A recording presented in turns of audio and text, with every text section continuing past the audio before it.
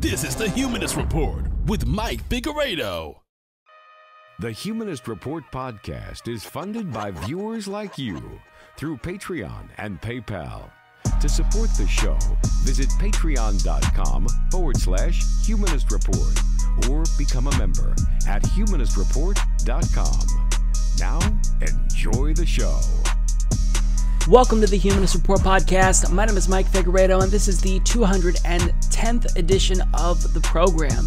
Today is Friday, September 20th, and before we get started, I want to take some time to thank all of our newest Patreon, PayPal, and YouTube members, all of which either signed up for the very first time to support us this week or increased their monthly pledge.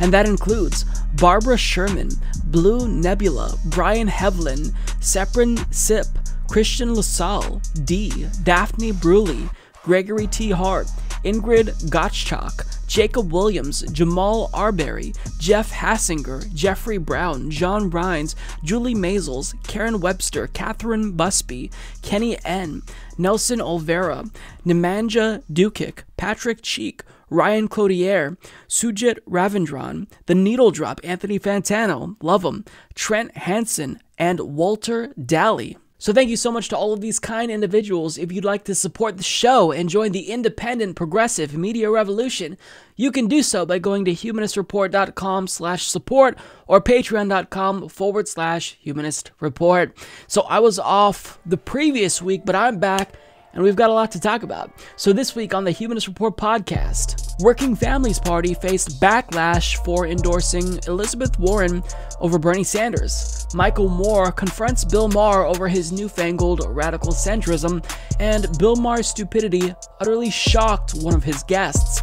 Pete Buttigieg is now getting desperate and resorting to attacks and lies about Bernie Sanders. Bernie Sanders has had it with Joe Biden's blatant corporatism and is now calling him out more aggressively. Candace Owens showed that she's not very good at grifting because she couldn't even answer the most basic question about Donald Trump ever. Also, Bernie Sanders releases a Housing for All plan that is incredibly robust. I'll talk about why Elizabeth Warren supporters are choosing her over Bernie Sanders, who Trump is the most afraid to run against in 2020. We'll talk about Tulsi Gabbard's clash with Fox News' Neil Cavuto, and Trump's decision to revoke California's autonomy to create their own auto emission standards.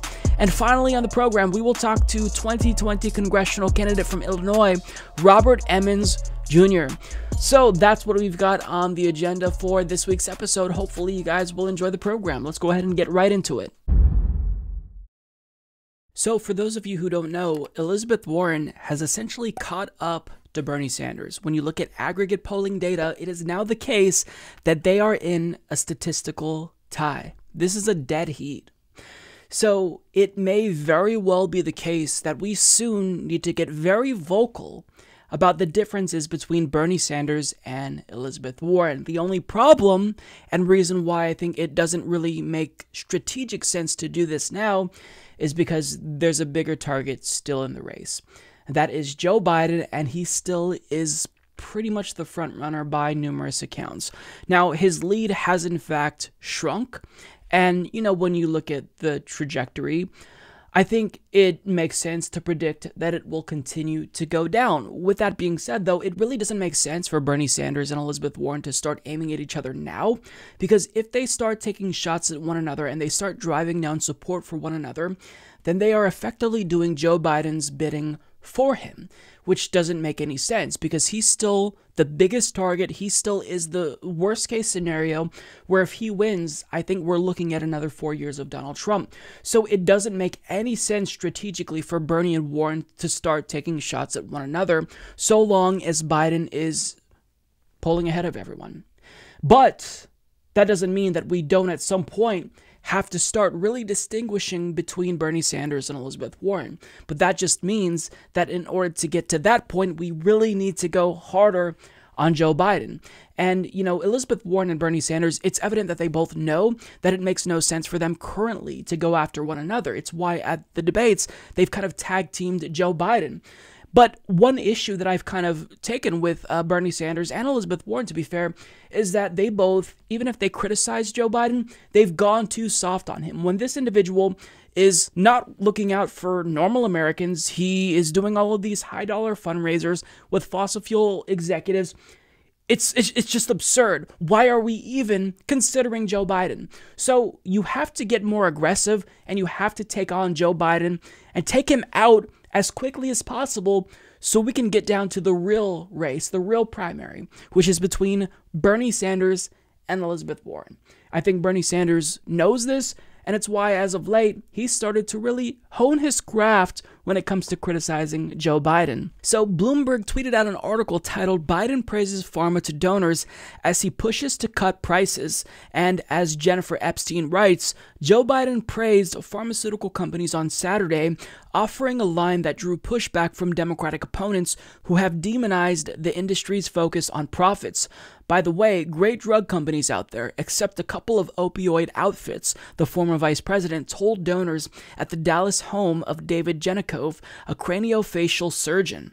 Now, Bernie Sanders then tweeted in response to this article saying, I disagree with Joe Biden. The pharmaceutical companies are greedy, corrupt, and engaged in price fixing. At a time when their behavior is literally killing people, America needs a president who isn't going to appease and compliment drug companies. We need a president who will take on the pharmaceutical industry, whether they like it or not. That is exactly what we will do. And this is really what Bernie Sanders should be doing because we keep seeing article after article about Joe Biden doing these private fundraisers in the Hamptons Hamptons, getting extra cozy with the establishment and big dollar donors. And it's just, it's inconceivable that he thinks this is still acceptable in 2019. I mean, what are you doing? Hillary Clinton did this in 2016. She lost because everyone viewed her as the establishment candidate, and rightfully so.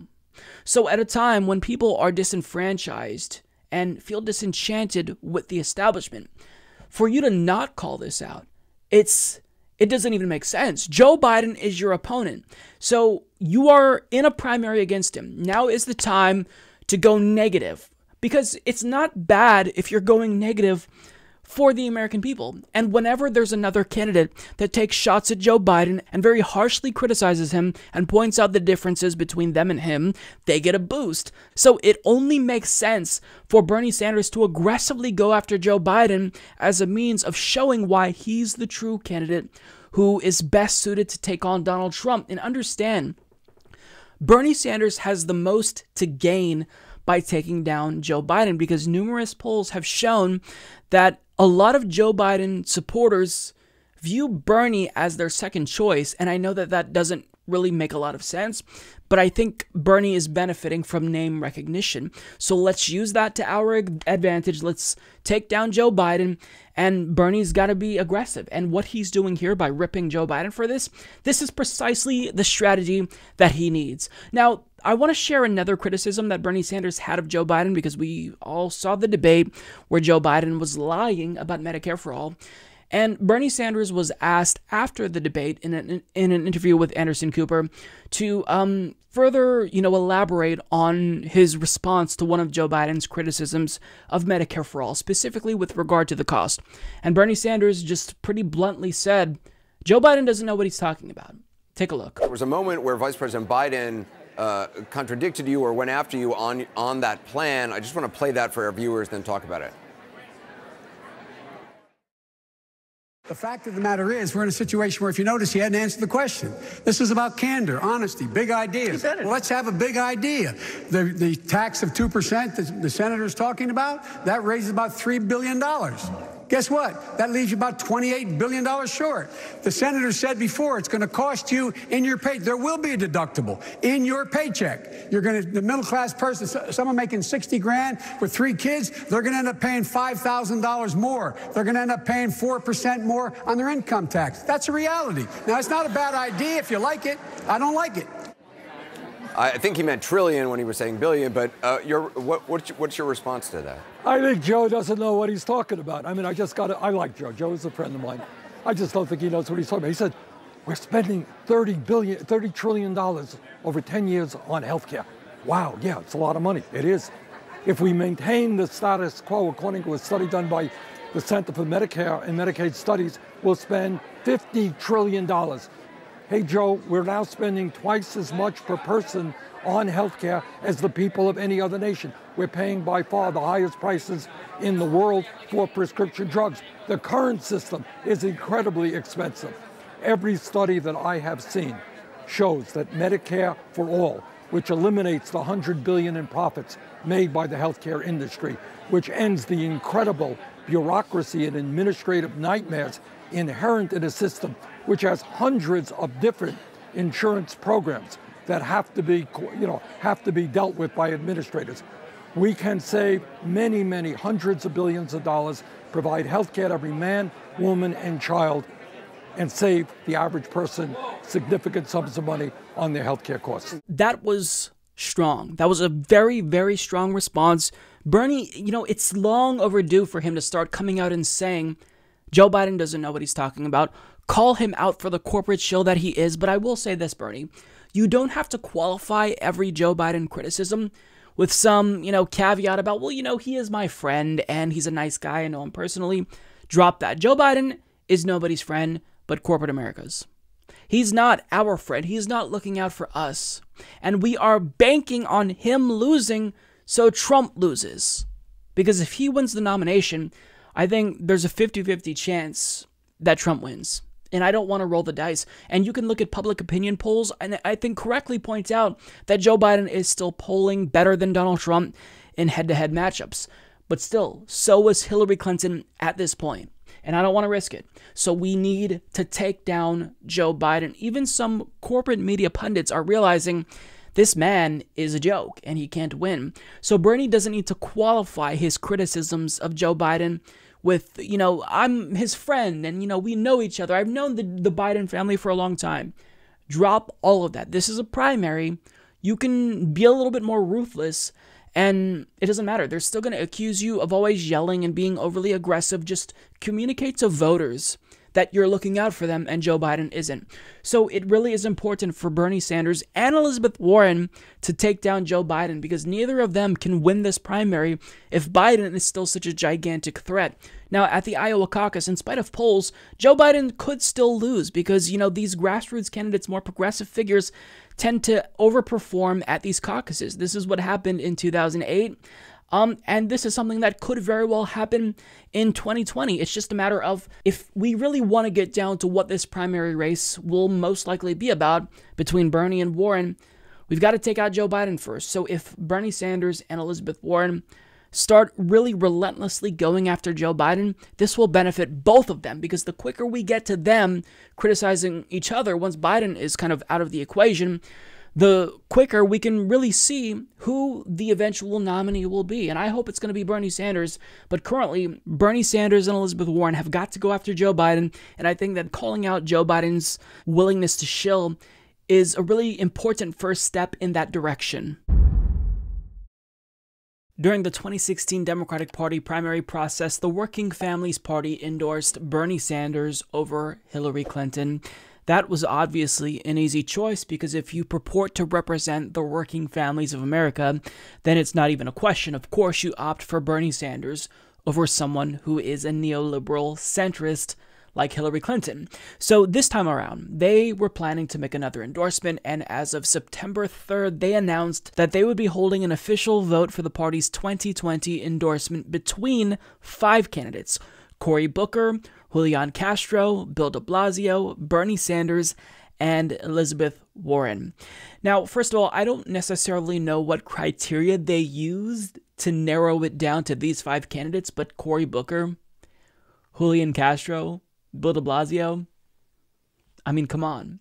Now, if if I'm remembering correctly, um, as a DSA member, when they did their endorsement process, it was just an up or down vote for Bernie Sanders. They sent us the card and we voted yes or no if we wanted to endorse Bernie Sanders. And look, that's the way that it should be. If you are truly a grassroots organization, then it's not even a question. You just should be savvy enough to know the difference between someone who wants social democracy and someone who wants a little bit more humane version of capitalism. It's not even a question. So the fact that they even had Cory Booker and Julian Castro in the running is pretty much an embarrassment for the Working Party's family. Nonetheless, they held the vote, and the way it works is leadership gets 50% of the vote share, and members who pay monthly dues of $10 per month, they get the other 50% of the vote share, and it's conducted using a ranked choice voting system. And now the Working Party's family has made their choice. The results are in, and they have officially chosen to endorse Elizabeth Warren over Bernie Sanders. Yeah. Now, as Daniel Marans of HuffPost reports, the endorsement reflecting the views of 61% of working families' party members and leaders in a ranked choice voting system is a particularly sharp disappointment for Sanders, who picked up the group's backing in the 2016 election cycle but received just 36% of the vote from participating members this time around. The Sanders campaign's political director, Analilia Mejia, is the former executive director of the New Jersey Working Families Party. So they made their endorsement. There's nothing we can do about it. But let me just say this if you are opting to endorse a candidate and you're choosing between Bernie Sanders and Elizabeth Warren, and you're really trying to make that choice, then you can say, sure, these are both solid candidates, but when it comes down to the differences between Bernie Sanders and Elizabeth Warren, there are many. It's not like, you know, they're indistinguishable from one another. These are two very different candidates with very different views for the future of this country. Bernie Sanders supports social democracy, and Elizabeth Warren supports a reformed version of capitalism. And when it comes to policy differences, Bernie Sanders has supported Medicare for all for 40 plus years, whereas Elizabeth Warren has been waffling back and forth multiple times throughout the course of this year. In addition, Bernie Sanders has a progressive, non interventionist, anti imperialist foreign policy agenda, whereas Elizabeth Warren hasn't really laid out her agenda when it comes to foreign policy, and what we've heard is troubling. She also recently failed to explain why she voted for Donald Trump's military budget. On top of that, she's only swearing off big fundraisers until the general election. Then, if she wins, all bets are off. And then it's fundraisers, I guess, and big money. That's what she said to Cenk Uygur of TYT in an interview, at least. Whereas Bernie Sanders has permanently sworn off PAC money. He's sworn off these private fundraisers because they are a corrosive influence. Also, Elizabeth Warren is assuring Democratic Party elites that she doesn't want to fundamentally change the status quo. And she's getting buddy buddy with people like Hillary Clinton, who represents everything wrong with the Democratic Party, and Bernie Sanders is not doing that. Now, let me just emphasize here I'm not an Elizabeth Warren hater. I think she's a solid candidate, and I think that she is running a really good campaign. But if we are forced to choose between Bernie Sanders and Elizabeth Warren during a presidential primary, the choice is clear if you truly care about working families in America, if you truly want to get us on that trajectory of social democracy. It's Bernie Sanders, it's clear. It's not like the only difference is that, well, Elizabeth Warren, you know, she is a little bit more wonkier and she's stronger on areas X, Y, and Z. No, that's not the case. When you have Bernie Sanders in the race, the one candidate who has explicitly said he wants social democracy, that's an obvious choice. It's Bernie over Elizabeth Warren. Now, of course, because they made this endorsement, this led to a lot of backlash on Twitter. And let me remind you that the reason why they're getting backlash, I think rightfully so, is because this goes against their stated agenda, and they've been doing this lately. So in 2018, in New York's 14th congressional district, they endorsed Joe Crowley over Alexandria Ocasio Cortez. And here they are again endorsing the candidate who clearly is not the best for working families. Is Elizabeth Warren bad for working families? No, but is she anywhere near as good as Bernie Sanders? Absolutely not. And people vocalized that in the responses here. So, for example, Michael Brooks tweeted the most pro worker candidate in modern history, building a multiracial working coalition and a clear social democratic platform, and you don't endorse that campaign. You guys will be known for this now instead of just getting played by Cuomo. Also, change your name. Meagan Day of Jacobin writes Working Families Party should have endorsed Bernie Sanders. Bernie has a much more working class and racially diverse base, and he's focused explicitly on building working class movements on the ground. He's the most pro labor presidential candidate in living memory. This is a real shame. Ben says he canceled his recurring donations. And when you just look at the level of enthusiasm for Bernie Sanders on the YouTube page for the Working Families Party, it's evident that the only videos that gain any sort of traction whatsoever are the videos that feature Bernie Sanders. Any other video you know, they'd be lucky to get 10 views, and the one with Elizabeth Warren only got a couple hundred. Bernie Sanders, however, he clearly has a lot of support.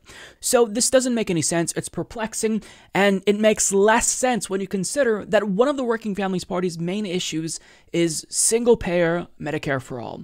Now, in an interview with Ana Kasparian on No Filter, Ben Burgis explains that that was one of the main issues for the Working Families Party. So to support Elizabeth Warren over Bernie Sanders, Sanders, when the Working Families Party has been a champion of single payer healthcare, Bernie Sanders has been promoting single payer Medicare for all for decades, and Elizabeth Warren only formally came out and endorsed it in 2017. And on top of that, she's been going back and forth, back and forth, and she finally put up Medicare for all on her website.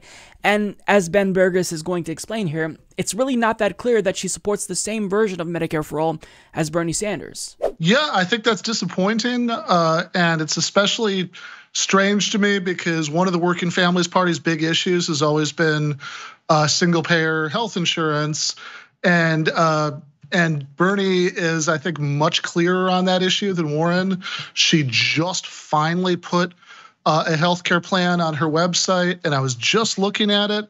And if you look at the part that uh, especially disturbs me about that, about mental health care, uh, you know, that makes it sound like that would be separate from whatever sort of Medicare for all thing she's endorsing. She talks about Medicare for all, and then she talks about affordable mental health care. And usually when I hear that word affordable about health care, I start worrying because that's uh, that's kind of the the buzzword for you know it's still in the market system. Uh, you know we're just going to try to do some sort of cost control thing. So I'm with Ben here. It's confusing. Um, you know, does she mean that she supports single payer for everything but mental health? Is that something where, you know, she would just offer a subsidy?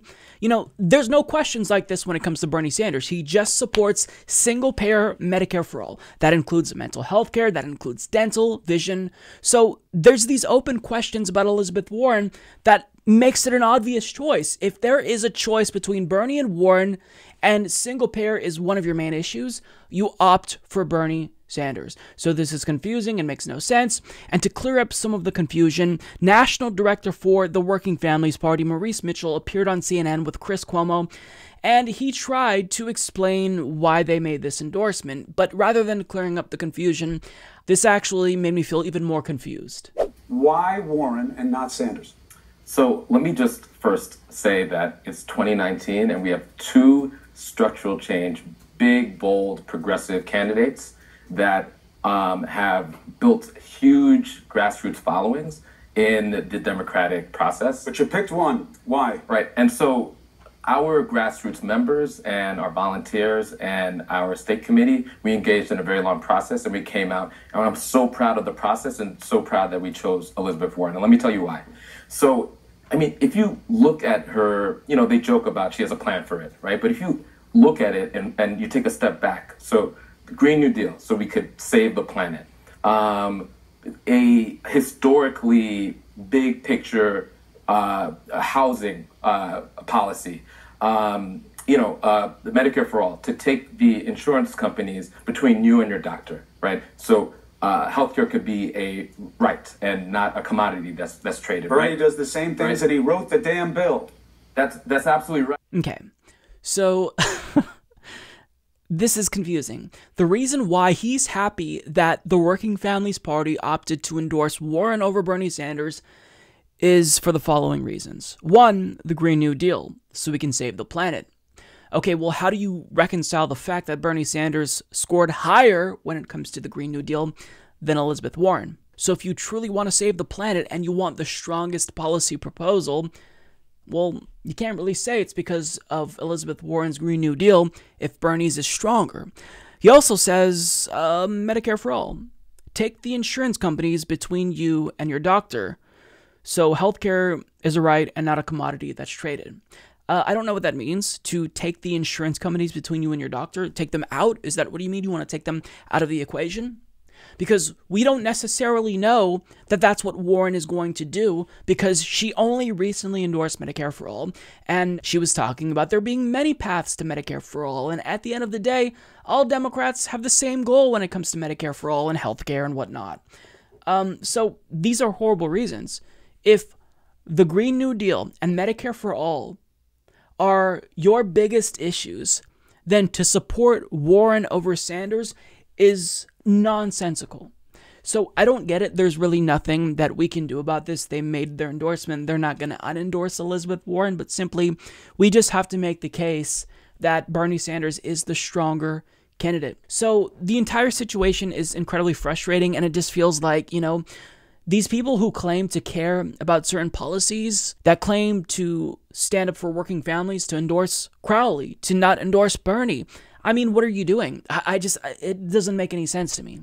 And, you know, you can see why they don't have a good reason because when they try to explain it, they're frailing. You know, you could tell that, you know, uh, Mitchell was uh, frazzled there because if you're trying to explain to people that from the standpoint of you being a progressive, Warren is better than Bernie, you're going to come off as either a troll or someone who isn't very politically savvy because it's evident to anyone who is engaged with politics that Bernie has the strongest ground game. He's the strongest politically. He is more electable to take on Donald Trump because he has that anti establishment appeal, whereas Elizabeth Warren is getting buddy buddy with the establishment.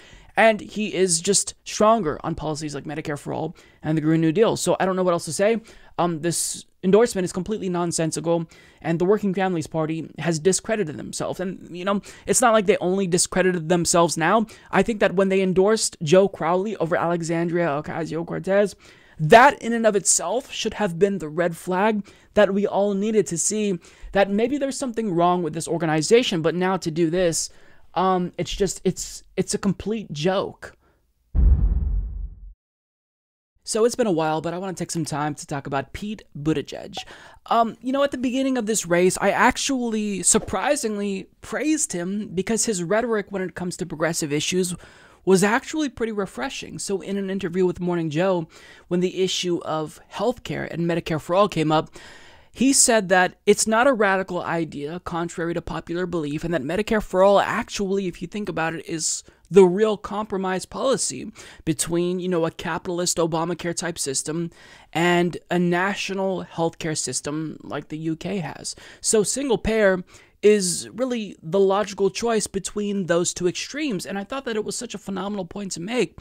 And he really did seem to want to appeal to progressives. But fast forward, you know, about six or so months later, and now he's having these private fundraisers in the Hamptons. Now billionaires are flocking to his campaign and contributing, and now he's going out of his way to lie about progressive policy proposals like Medicare for All. And he absolutely needs to be called out because it's one thing to say that, you know, you're not part of the progressive wing of the Democratic Party, but to go out of your way and actively spread misinformation, presumably at the behest of special interests, that is uniquely evil. And yes, I'm using the word evil because that's what that is. If you are shilling for a system that allows people to die or go bankrupt because they don't have health insurance, or maybe they have health insurance, but they still can't afford a particular procedure that their insurance company won't cover, that's just pure evil. I don't know what else to say, how to be more charitable with that.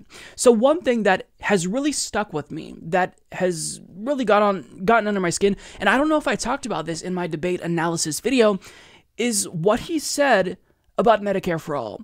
And this is what he said in response to Bernie Sanders talking about Medicare for all. The, the problem, Senator Sanders, with that damn bill that you wrote and that Senator Warren backs is that it doesn't trust the American people.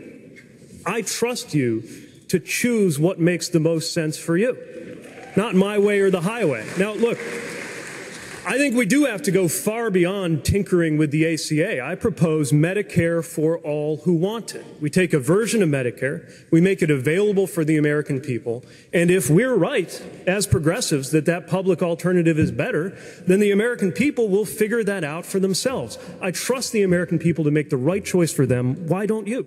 Spoken like a true neoliberal nitwit. What he said there is disingenuous horseshit because to suggest that eliminating private health insurance companies somehow isn't putting trust in the American people, it's idiotic. And you're framing this in a way that conspicuously benefits the health insurance industry because Bernie Sanders has a Medicare for All bill that is so robust that it would effectively get rid of private insurance companies. Because if you ban duplicative care and you offer a comprehensive benefits, you're not leaving any room for these health insurance companies. So, what does Pete Buttigieg say to that? Well, you are not trusting the American people to make their choice between a public system and a private system. Why should we remove quote unquote choice from Americans? Why shouldn't we trust them? I trust the American people to make the right choice for them. Why won't you trust them? And that is where I call bullshit on that rhetoric and talking points because here's the thing to suggest that wanting to get rid of these for profit health insurance vultures means we don't trust the Americans to make their own decision is absolutely nonsensical because, of course, we trust the American people to make their own decisions when it comes to healthcare. But you see, what he is proposing here is a false dichotomy of choice. It's the illusion of choice. That the choice when it comes to healthcare is between a public or private option. But that's not the choice that we're looking for. The choice comes into play when Americans have the ability to choose whatever doctor they want, to go to whatever hospital they want, because America becomes one big network. Because if I have the choice to see any doctor in the country, that is true choice. That's giving me the freedom to do whatever I want, to take my own healthcare into my own hands. And that's really what matters choosing between private insurance and, you know, a public Medicare system, that's not where the choice comes in. I don't want to worry about that. Do you think that people are excited to fill out the paperwork and pay their monthly health insurance premiums? Of course they're not. So to say Bernie Sanders doesn't trust the American people, as someone who claims he formerly supported Medicare for all, now you're just lying. Now you've become the enemy, Pete.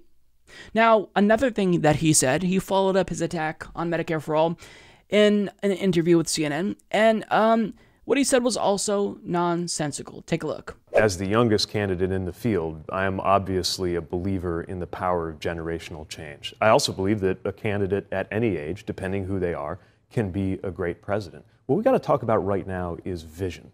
My concern about the vision from the Sanders Warren approach is that uh, it can polarize Americans when we have other ways to deliver bold solutions uh, without dividing the American people further. So, that right there shows exactly why he is not positioned to take on Donald Trump. Because what Democrats are failing to realize is that polarization is a reality in American politics. It's an inescapable reality that you have to deal with. Polarization will not be going away anytime soon. So, what makes more sense? To try to bring those two polarized halves together during the process of an election, or actually craft a strategy tailor made for polarization, and then once you get elected, try to bring people together by passing popular policy proposals. You see, if you try to pretend like America isn't polarized and that, you know, Bernie Sanders and Elizabeth Warren are furthering that divide, you're being a useful idiot because we're already polarized. That's not going to change. So capitalize on that polarization and actually show the base that they have a reason to come out and support you because Republicans are so bad. They're already energized to come out and support Donald Trump, okay? He's not trying to appeal to moderate Democrats. He's not appealing to the left in any way, shape, or form. So why should Democrats appeal to moderates that don't really exist anymore in a polarized environment when they could excite the base, go after non voters, and perhaps win larger than they've ever won before. I mean, think about this. If you're worried about polarization and trying to reach out to moderates, we already saw how that strategy plays out at the national level. It leads to Republicans winning Hillary lost. She tried that. She picked a VP that was to her right when she was already a center right politician. So, what do you want? What are you going after? You honestly think that Medicare for All is polarizing? Then explain why some polls show that a majority of Republicans support it. Explain why it's overwhelmingly popular with the Democratic Party base. See, I'm preaching to the choir. Pete Buttigieg is smart enough to know that everything I'm saying is true, but he's choosing to lie and be disingenuous because this is a political tactic. You see, when you start going down in the polls and you kind of lose that status as being one of the frontrunners, what you have to do in electoral strategy is to attack the frontrunner. It makes sense, so I get it.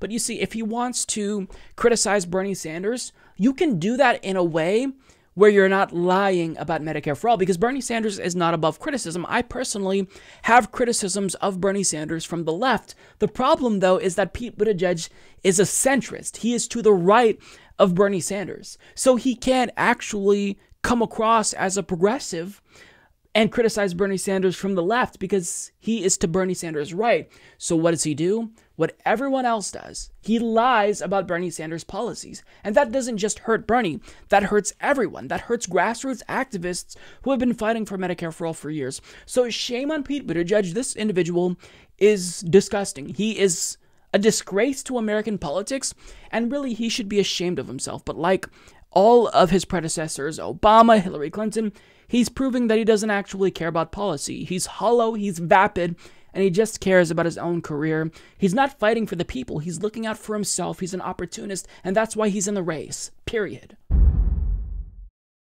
Every time I talk about how bad Bill Maher has gotten, it's like he takes this as a challenge, and I absolutely am not under the illusion that he's watching my show, but it's like he keeps devolving, and just when you think that, you know, he's bottomed out, he can't get any worse than this, he really says something even dumber than anyone could fathom that he would be saying. I mean, five years ago, to hear the way he talks about politics and Bernie Sanders and progressive policies, I wouldn't have believed that that's the same person.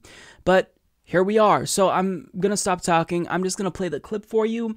Um, when he says something very stupid, watch one of the panelists' face. Can I present a scenario? I think this might be one of those years where it's the, the discussion Mike and I were having. It's that they can't get over that centrist versus socialist thing. So Elizabeth Warren at some point takes Bernie's voters. He drops out. It's Warren and Biden. But and they go to the convention, and it's deadlocked. This has happened before in mm, American yeah. politics, and they need a compromise candidate. I'm looking hard at Amy Klobuchar.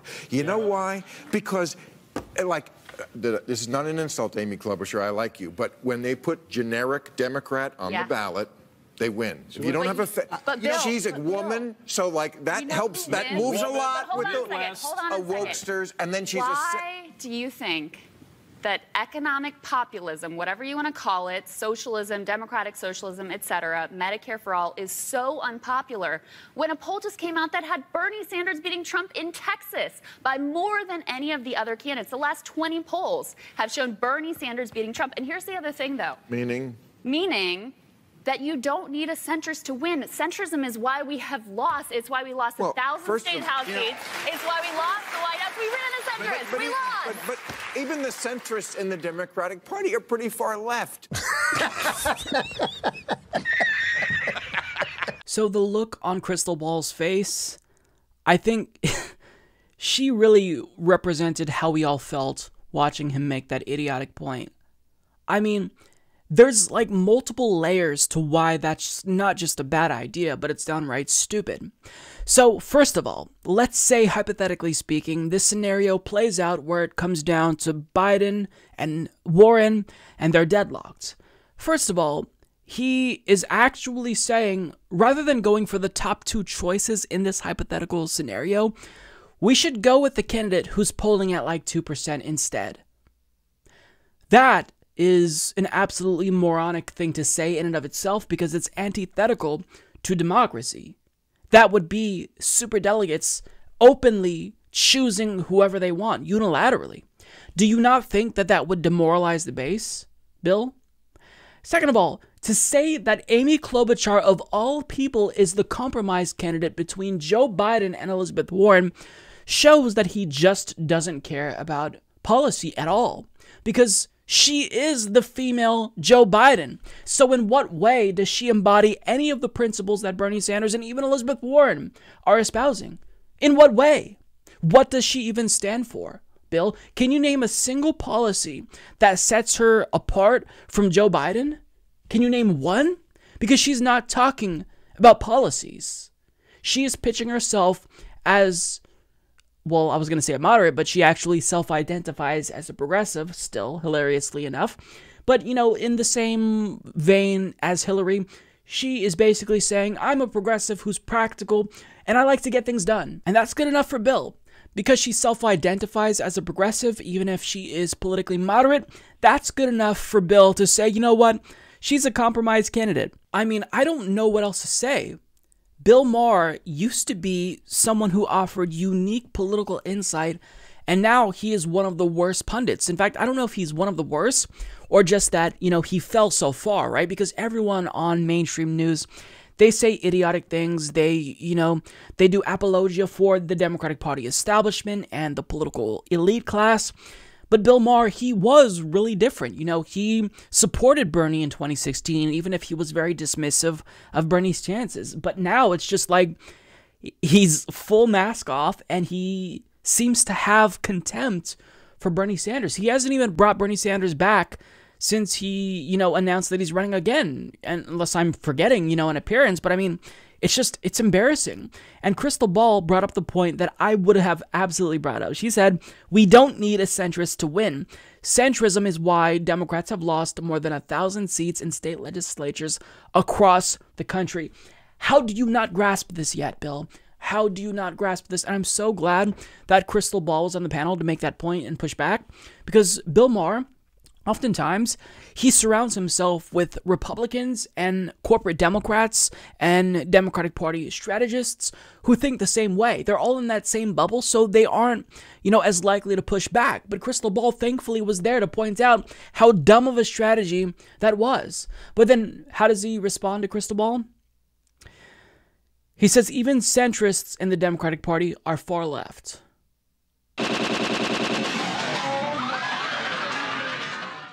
I don't even know what to say to that. His perception of the Overton window from the standpoint of someone who used to be progressive is far right. It's right wingers who think that centrist Democrats are far left. But in actuality, when you compare the Democratic Party to the average left wing party anywhere in Europe or throughout the world, in Latin America, they are to the right there are probably more similarities between uh, the conservative UK party and Democrats than there are between Republicans and Tories. Maybe that's not necessarily the case now with Boris Johnson as prime minister, but still, when you compare them to average left wing parties, they are far to the right. And basically, the way that the Overton window is sitting in the United States is we have two right wing parties. One is a far right party, an extremist party, the Republican Party, that is, you know, more aligned with UKIP and these fringe right wing parties you see in uh, Europe than they are with any normal conservative party. And then we have a center right party or a centrist at best in Democrats. Now, thankfully, there's been an effort to push that Overton window back to the left, but that's still, you know,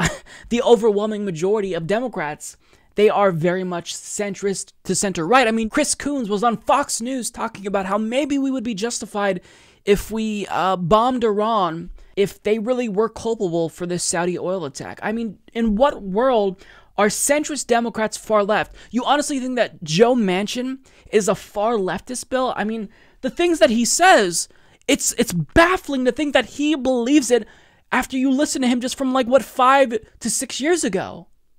It was him who was saying we need a left wing equivalent of the Tea Party. And now he's saying the complete opposite. Now he's saying, you know, anyone who's a far leftist who's too pure, they can go fuck themselves with a locally grown organic cucumber. After he said, no, we really need a left wing Tea Party. The man is an absolute fraud and a joke, and I don't know how anyone can still take him seriously, but his platform is large enough to where people do take him seriously. So I do think it's incumbent on us in indie media to push back against what he says. because I hate myself, I am doing a second Bill Maher video in the same week. Um, not necessarily something that I think uh, is probably a good idea, but nonetheless, here we are. So, as you all know, he brought on Krystal Ball to push back against his idiocy, but he also brought on filmmaker Michael Moore. And, you know, Michael Moore, my feelings on him are mixed, but mostly positive. Michael Moore, for the most part, he still.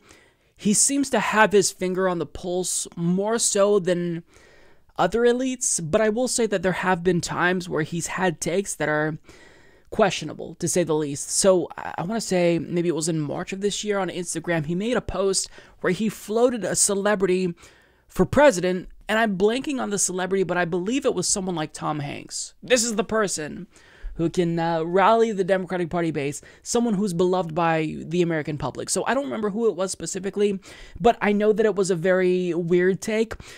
With that being said, Michael Moore still has a lot of great things to say, and I think that he does make a contribution to the progressive movement that is, for the most part, valuable, even if at times he kind of veers off in a weird direction.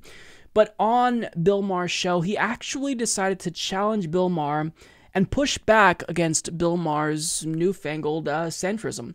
And this was really interesting to watch. You and I have fought for years to, to get the country where it is now. The majority of the, you talked about climate change 20 years ago. You talked about so many things, the, uh, legalizing marijuana, the fact that that's just Right. happening in one state after another now. You were ahead of the curve for so many years. we Religion fought for these things. no, we fought for these things. You, the minimum wage. I'll tell you what Bill Maher believes in. The minimum wage should not be Yes, seven of twenty-five an hour. No, of The- course Go not. down the whole list. Okay. Women should be paid the But- same but- as but men wait, for doing the same the job. okay, but let's we go- got the country to where Bill Maher and I- Michael Moore are at. okay. Why pull back now, Bill, because and the, say we've got to go to the center because, be safe? because the country be isn't safe. there. Because I'm sorry, you're lumping a lot of uh, vague shit together. The country is for raising the minimum wage, of course. The country is not for Medicare for all. As, as soon as you ask the question, get rid of private health insurance. I mean, Barack Obama said, if you like your doctor, you can keep your doctor, mm-hmm. which turned out to be not true for only 2% of the population, and the whole country went apeshit about the 2%. Right. Now you're going to take away everybody's? Well, completely every get rid of shows- private? Even though there were so many things to fix about Obamacare. They don't like that. People don't like that. No, they like the fact that their 26-year-old can still be covered, not That's have to worry about. Obamacare. That's, Ob- That's I'm saying, oh, they like the things about Obamacare, but Right. but it didn't go far enough. And and we've got 30 million people that are uninsured. We've got 50 more But million as that Nancy- are underinsured. That that is the As Nancy sad. Pelosi points out, Obamacare is a better benefit. The Medicare for all doesn't play for, pay for catastrophic. You got to do that yourself. Look, Bill, we're going to beat Trump. We're going to beat Trump. well, that's not a helpful you know, thing to say. No, it is. No, As I'm you- not. I'm not know, predicting it. We're, I know. No, no, I, no. You we're and the two guys. about. You're the two guys. We're the two guys who We're- said Trump was going to win. And I'll say, So- if the election were okay, tonight, let's- if the election were tonight, Trump would win. How about Wow. that? Ooh. All right, that's how dangerous it is because everybody is so. See, look at the same reaction when I said that three years ago. Yeah. No, no, don't say that. You have to respect the evil genius of this Okay. guy and Yes, how he I- gets away with every Right. fucking thing. Okay, so listen, here's an interesting thing. He will get I away only- with this if we don't, you and I and others, start fighting, fighting for the progressive Okay. things that we believe in. So that goes on longer, and let me just say that Bill Maher, I mean, I don't even know what to say. After that clip, he went on to criticize members of the squad and say that their approval rating is low and that America doesn't like them, and that if Donald Trump actually makes them the face of the Democratic Party, then this will be bad for Democrats. See, the problem with Bill Maher is that he only views politics through the uh, lens of personality. It's all about the personalities.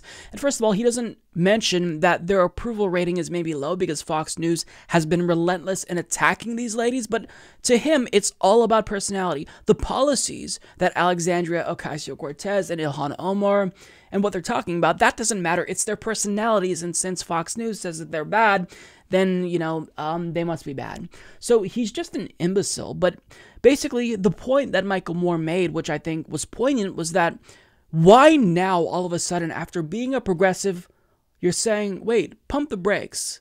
I mean, we finally get this vocal left wing movement in the country, which is what we needed, which is what you previously said we need. And now all of a sudden, you're against them. You're shitting on them. Why? And Bill Maher's response, idiotically enough, was it's not where the country's at. Really? We elected Donald Trump. The establishment has failed Americans. They're ready for change. They're ready for bold progressivism. And if you look at countries throughout the world, in every country where there is a Trumpian figure, Brazil, the UK, there is always someone who is progressive, who is incredibly popular. Left wing policies, vocal, social democratic, and socialist policies are the antidote to fascism and right wing populism. That's the only thing that actually can permanently defeat Donald Trump. Okay? So the fact that Bill Maher doesn't get that by now, it shows how naive he is and how he's just not engaged. And what's odd to me is the prime example he brings up to show why Americans aren't with progressives Medicare for all. He says Americans don't support Medicare for all. They don't support Medicare for all. Have you read any poll lately, Bill? Any poll? Most polls show that Medicare for all is overwhelmingly popular. And some polls even show that a majority of Republicans support it. But he goes on to lie about Medicare for all and frames it as taking away health care. So that's why it's not popular. Obama said if you like your doctor, you can keep it. And now we're going to take, you know, insurance away. You know, it's interesting to me that all of these people, they just, one person will say it and then everyone else will repeat it. It's like a telephone, but for corporate talking points. Now, I don't believe that Bill Maher is meeting, you know, in a smoke filled back room with the Democratic Party strategists so that way they can all get on the same page and say the same thing.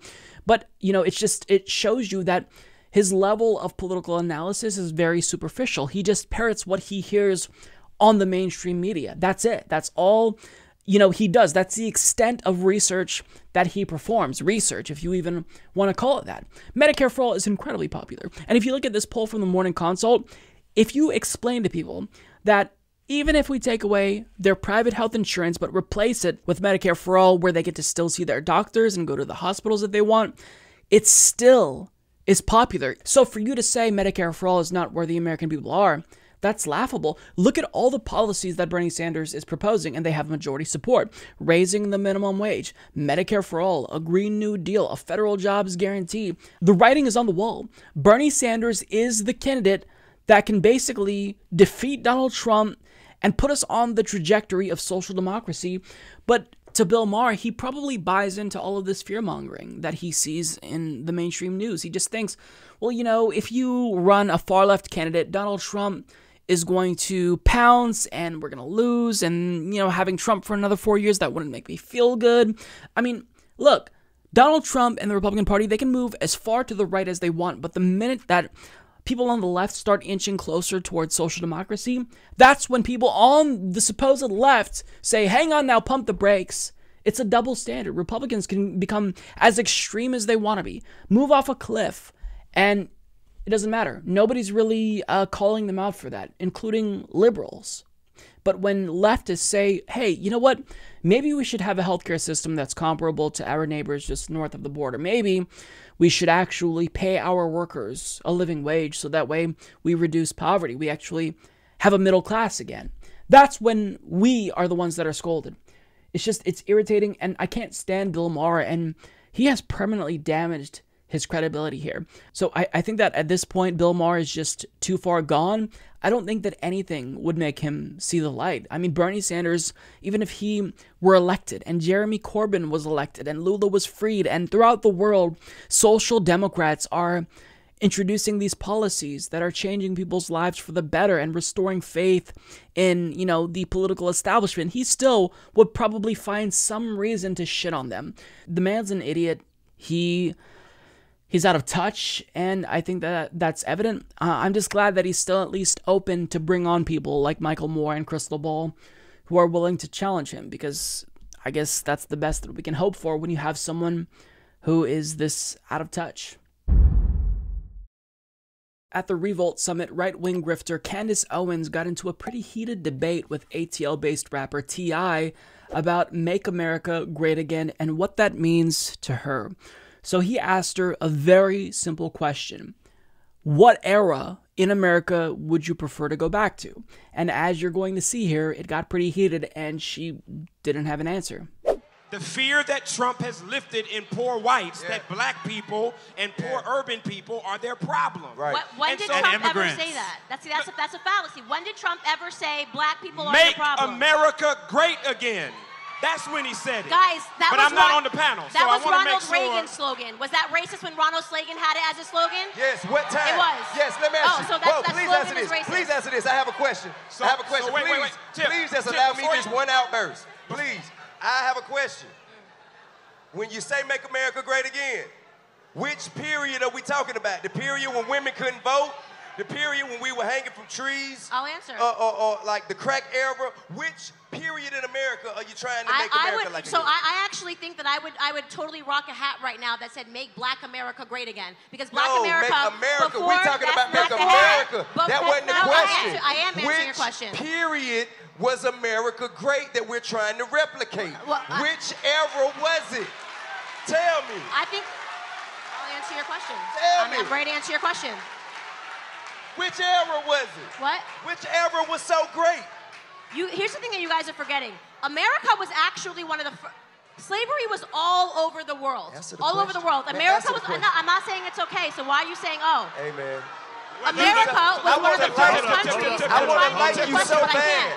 Can't. I'm Because trying you're to so your question. smart. I want All to like y'all. you so If much. I can't answer the I want to hear y'all. I want to be able to hear them. If, if, I want to be able to I hear can't them. answer the question and you're just gonna boo when I say Am- a slavery was all over the world, which is a fact, why are you booing a fact? Because you're making light of. No, I'm not. You're making light I of haven't the gotten to my points. I'm not of making- people that look like us. You can't make light of that. That ain't nothing I haven't even over. finished the sentence. How am I making You light of anything? You started with some bullshit. Okay.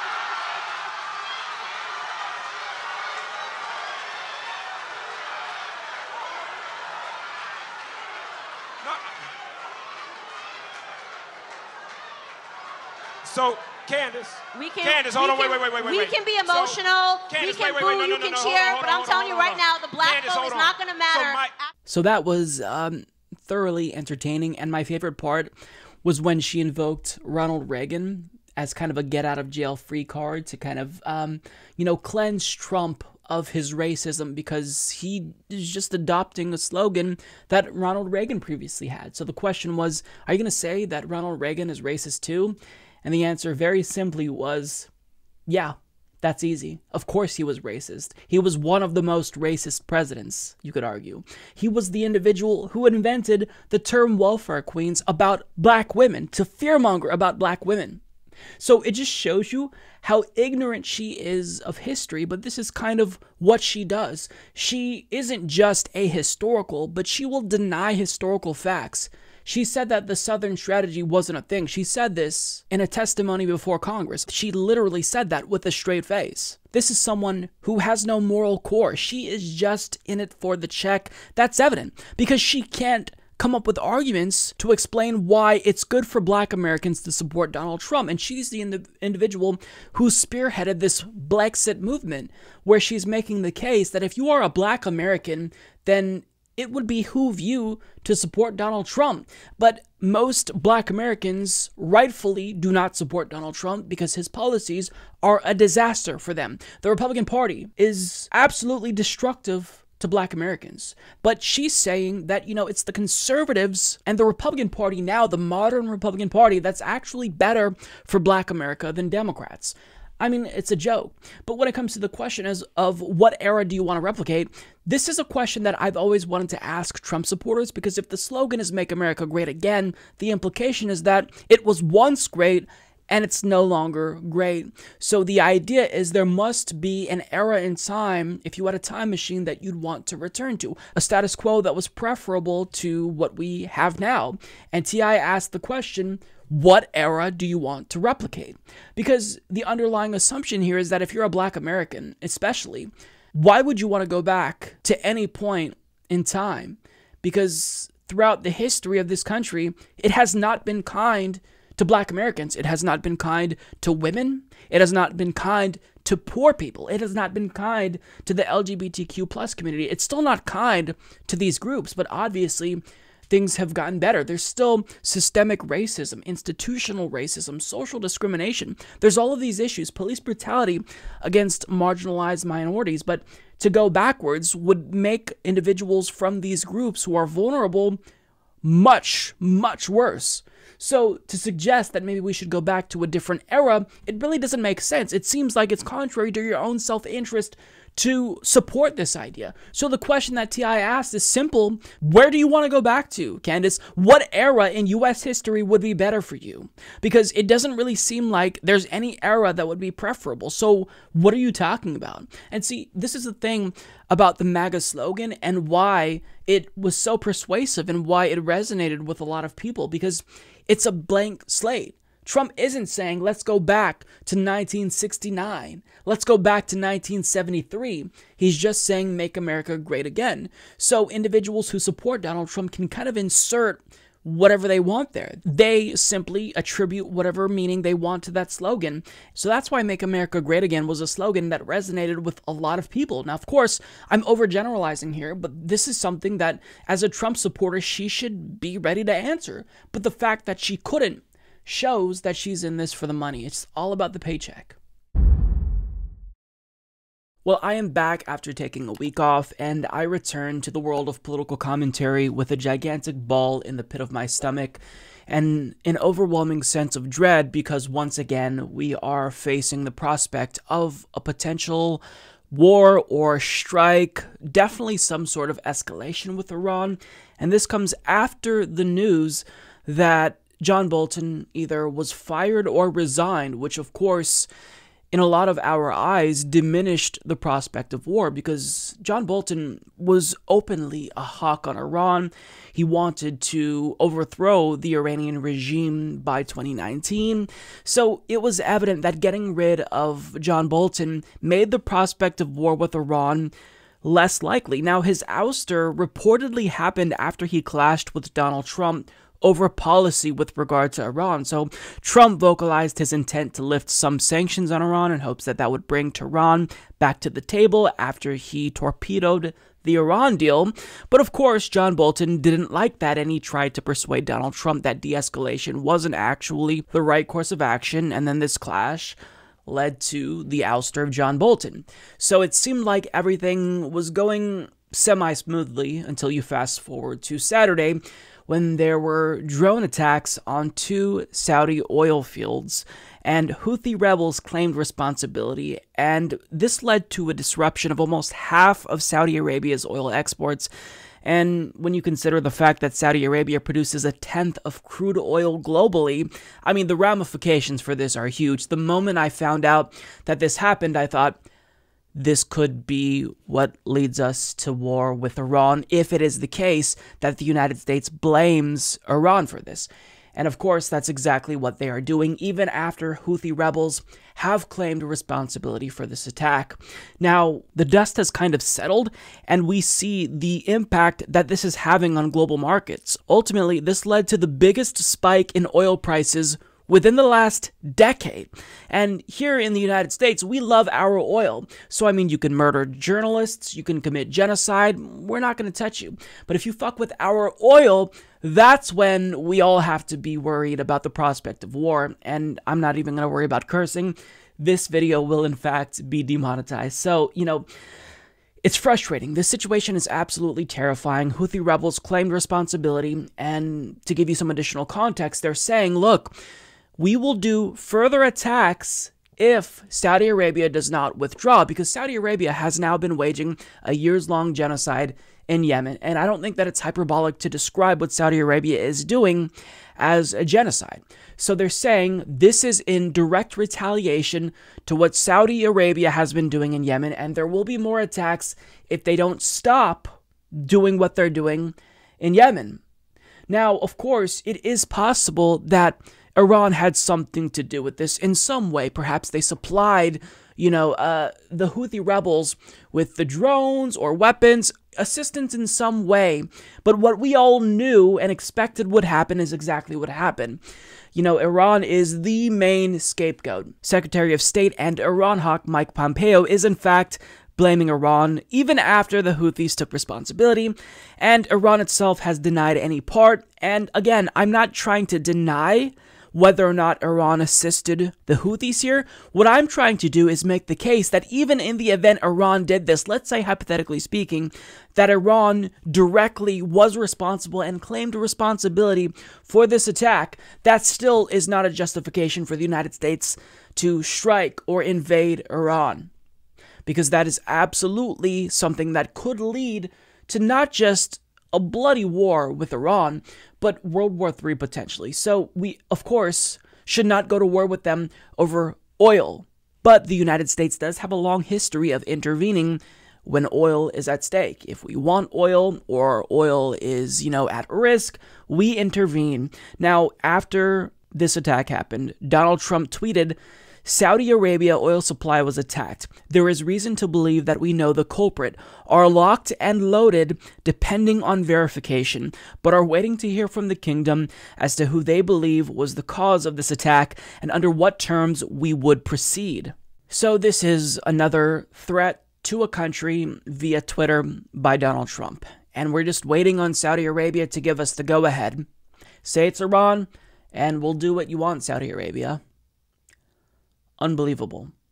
Now, what Donald Trump is alluding to here when he says that we're locked and lo- loaded, presumably, is him saying we are ready to strike in the event Iran is responsible. If that's what the intelligence points us towards, we'll strike Iran.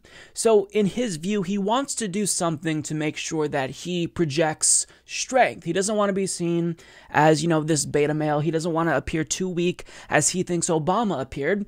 But at the same time, he is committed to at least being portrayed as a non interventionist. When that's laughable, he's not. He is a warmonger, perhaps to a lesser extent than individuals like Mike Pompeo or John Bolton, but nonetheless, he still is a warmonger. But he still wants to be portrayed as an anti interventionist. So it seems like, in his view, he thinks striking Iran will suffice, and then he pulls out. No war needed after that. The problem is that Iran has communicated that they would, in fact, view that as an act of war, and that that would lead to war.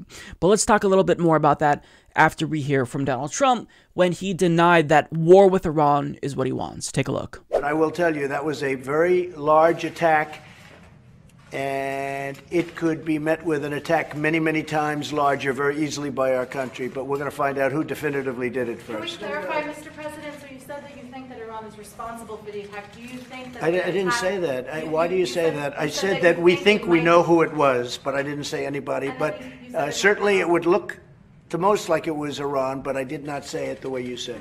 Do I want war? I don't want war with anybody. I'm somebody that would like not to have war. We have the strongest military in the world. We've spent more than a trillion and a half dollars in the last short period of time on our military. Nobody's even come close. There's nobody that has the F 35. We have the best fighter jets, the best rockets, the best missiles, the best equipment. Uh, but with all of that being said, we'd certainly like to avoid it. Two and a half to three years ago, they were causing a lot of trouble, and we'll see what happens. But uh, we'll let you know definitively. There, as you know, there are ways to uh, see definitively where they came from, and we have all of those ways, and that's being checked out right now. Are you still willing to meet with the Iranians without preconditions? Still willing to Well, you know, there were always conditions because the conditions, if you look at it, the sanctions are not going to be taken off. So if the sanctions, that's a condition. So, you know, that's why the press misreported it. Uh, the biggest thing you can talk about are the sanctions, and the sanctions are massive. There's never been sanctions put on a country like that. And I think they have a tremendous future, but not the way they're behaving. We'll see what happens in terms of this attack. Uh, Secretary Pompeo and others will be going over to Saudi Arabia at some point to discuss what they feel they're going to make a statement fairly soon. Uh, but they also know something that most people don't know as to where it came from, who did it, and we'll be able to find that out, figure that out very quickly. We pretty much already know. You know, there's a number of ways that you can interpret what Donald Trump is saying there. Um, by saying, I don't want war with Iran, it seems like he thinks a strike in the same way that he struck Syria twice would basically be all that happens. But again, Iran has made it very clear that they are prepared to go to war if they are struck. Now, if we were attacked, let's say Iran bombed Texas, would we just let that go? Absolutely not. We would absolutely be prepared for war, not to be redundant and overuse the word absolutely. But when we're talking about Donald Trump, we are dealing in absolutes because this individual is incredibly volatile, he's unstable, and one minute he could talk about how locked and loaded we are, and the next minute talk about how, oh, of course, I don't want war with Iran. But make no mistake about it, if he strikes them, that's war with Iran. That is an act of war, unquestionably. So we don't necessarily know how this is going to turn out. We're watching this unfold in real time, and de escalation seems a lot less likely this time around because we see an attack on Saudi Arabia, which is one of our allies, and the United States government is committed to defending our allies, especially if we already are looking for reasons to attack Iran. So any little thing that they do or don't do is the justification that we need to invade. We can't just invade if we have no reason to. So whether we fabricate a reason or take something and attribute blame to Iran for, even if it's someone else, it doesn't matter. The point is there are many neocons in Donald Trump's administration, the military industrial complex does have an overwhelming amount of influence over a lot of lawmakers, and they want war with Iran because that is incredibly profitable. So we are trying to push back against the prospect of war with Iran within a capitalist system that profits off of never ending wars. And the situation looks grim, I'll just put it that way. Now, in response to Donald Trump's saber rattling, you do have the usual anti war voices speaking out. You had Tulsi Gabbard on Twitter say Trump awaits instructions from Saudi masters. Having our country act as Saudi Arabia's bitch is not America first. Rand Paul explained how a strike on Iran would be a quote big mistake, which is a message that he sent to Donald Trump after Lindsey Graham unsurprisingly told Donald Trump that he must consider an attack on Iran. And Lindsey Graham, I don't think that there's any war that he's ever been against. Like, you literally could say, should we strike Canada? And if that is something that would increase the profits of his donors in the military industrial complex, in that defense industry, he would go for it. This man is a psychopath. He is not stable. So I'm glad that there are a few anti-war voices, even within, you know, uh, at least one in the Republican Party, in Rand Paul, who's willing to push back. However, the problem is that we've gotten to this point where never ending wars is just the default position, and new wars aren't that alarming to people. There's this emerging bipartisan consensus when it comes to war. And to give you an example of that, Chris Coons, United States Senator in the Democratic Party, had this to say on Fox News. Quote, we have been constantly preparing ourselves for a full fledged war. Democratic Senator Chris Coons sits on the Senate Foreign Relations Committee. He's a busy guy, a lot of topics. Senator, great to see you in person. Great to see you. Senator, uh, if it is tied directly to Iran, mm-hmm. what's appropriate action? Uh, well, first, I want to see I want to see the intelligence, um, but it seems credible that the Houthis uh, don't have the sort of advanced drones that carried out this crippling strike on Saudi oil facilities. Uh, my hope is that the president will consult uh, with his generals, his diplomats, his advisors. Will look hard at the intelligence. Iran is one of the the most dangerous um, state sponsors of terrorism. Um, this may well be the thing that calls for military action against Iran if that's what the intelligence supports. What about people who say, you know, we got our own oil. We don't need that oil as much as we used to. Not our problem. What would you say to that?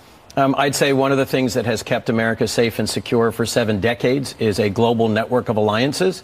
Obviously, our alliance with the Saudis has been badly strained uh, by the murder of Khashoggi and by some of the other things that uh, MBS, the Crown Prince, has done. Um, but this is a moment where Iran is really pushing our resolve and is really testing to see whether we're actually going to stand up. And if there's attacks by Iran on our close allies like Jordan, Israel, or the Saudis, um, we need to take seriously taking action against. And I think it would be great to know that uh, Republicans and uh, Democrats would be uh, behind that. So, if the intelligence says that you know Iran is responsible, that's a justification to attack Iran. So, here's what I will say about this because I I don't know what's going to come of all of this. Maybe Trump will try to de-escalate, maybe someone like Tucker Carlson will once again get in his ear. We don't know what's going to happen. But there are two conflicting sides here. You have one side that's overwhelmingly powerful. Urging and trying to goad Donald Trump into war with Iran, knowing that Donald Trump is belligerent and volatile enough to where he could potentially act if the right person says something at the right time, you know, they're trying to use that to their advantage. And then you have the anti war side, which is small in comparison, trying to do whatever they can to put pressure on lawmakers, to put pressure on Donald Trump. The problem is that, you know, as these things continue to happen, we had the incident a couple of months ago, you know, it seems as if what we're watching is a case being built against Iran. So in the event we're able to escape war with Iran or a strike against Iran uh, in retaliation to this, well, that doesn't necessarily mean that we're out of the woods yet because Bolton may be gone, but that military industrial complex, it operates autonomously. It doesn't need John Bolton in Donald Trump's ear to have a substantial influence over Donald Trump. So even if we don't have a strike on Iran, that doesn't mean that we get to rest easily. We still have to be hyper vigilant because Donald Trump is someone who is very unpredictable. Again, he threatened Iran and then says, I don't want war with them. So he's sending mixed messages and he's not playing four dimensional chess. This is not someone who has some type of complex strategy and he's just, you know, trying to convey strength to Iran. This is someone who has no strategy. So that type of naivete and just downright dumb fuckery is easy to capitalize on if you are close to Donald Trump. And Mike Pompeo, he's a hawk on Iran. He wants war with Iran. So we just have to watch the situation and hope for the best, but unfortunately, we are going to have to prepare for the worst. Because if anyone's going to attack Iran, Donald Trump, in spite of his anti interventionist rhetoric, is someone who could potentially be crazy enough to do something like that. So I've got to be honest with you. Last week, when I was on my staycation, I wasn't filming to watch Tulsi Gabbard go on the Rubin report and not push back against his right wing framing of questions, and to not only not push back, but proceed to agree with the way he framed it, that kind of hurt my heart a little bit. I'll be honest. Uh, the Democrats are basically trying to outdo each other for open borders, something like that. Um, a, do you think that's a fair way to start the question? My brain is still in recovery mode from taking in so many high level important ideas. And B, where, where do you sit on Now, I was going to talk about that, but Kyle Kulinski, my brother from another mother, actually did a really fair job covering that. So I will link you to his video there. I think that pretty much everything he said, I agree with. But let me say this Tulsi did make it up to me in a way because she went on Fox News and she was interviewed by Neil Cavuto and she absolutely demonstrated that she is not afraid to push back. I don't know why she didn't push back on the Rubin report, but here she pushed back, and I think this is more important because if you go on Fox News, you are reaching a broader audience, so you need to be ready to push back against any right wing framing, against any misinformation and right wing Republican Party talking points and propaganda, and she did just that. Now, in this interview that I'm about to show you, she was very critical of Donald Trump's response with regard to the issue of Iran, and she said things that were probably really uncomfortable for for Fox News' audience to hear. Hence why the video has more dislikes than likes, because, you know, how dare she criticize Daddy Trump on his home turf? Fox News is supposed to be, you know, a safe space. So how dare this outsider, this intruder come into our domain and criticize Lord Donald Trump? So, you know, it's good that she said this because Fox News viewers, they are in a bubble, and we're all in political bubbles, you know, in one way or another, but they are in the biggest, most thickest bubble that is very, very difficult to penetrate. And oftentimes, you don't reach these viewers unless you go on their own home turf. So, what she did in this first clip, I'm going to show you, there's two clips in total, but I'll link you to the full video. She basically educated Fox News viewers about the Iran deal and why it was a net good and why ultimately this is something that fostered peace and why, because it's now gone, we are dealing with the current situation and the escalation with Iran. It's because Donald Trump tanked the Iran deal. Take a look. We need to re enter the Iran nuclear agreement and get rid of these crippling economic sanctions that are continuing to escalate this war against Iran. Well, Iran has been doing this kind of stuff with or without sanctions, right? With or without a deal, right? So it doesn't seem to matter Uh, the that- occasion or the deal, true. right? While- They're while the Iran- behavior in the, Strait Iran of Hormuz and nuclear elsewhere, deal, right? While the Iran nuclear deal was in place, uh, Iran was found to be in compliance, both by our own intelligence agencies, the IAEA, other countries' intelligence agencies.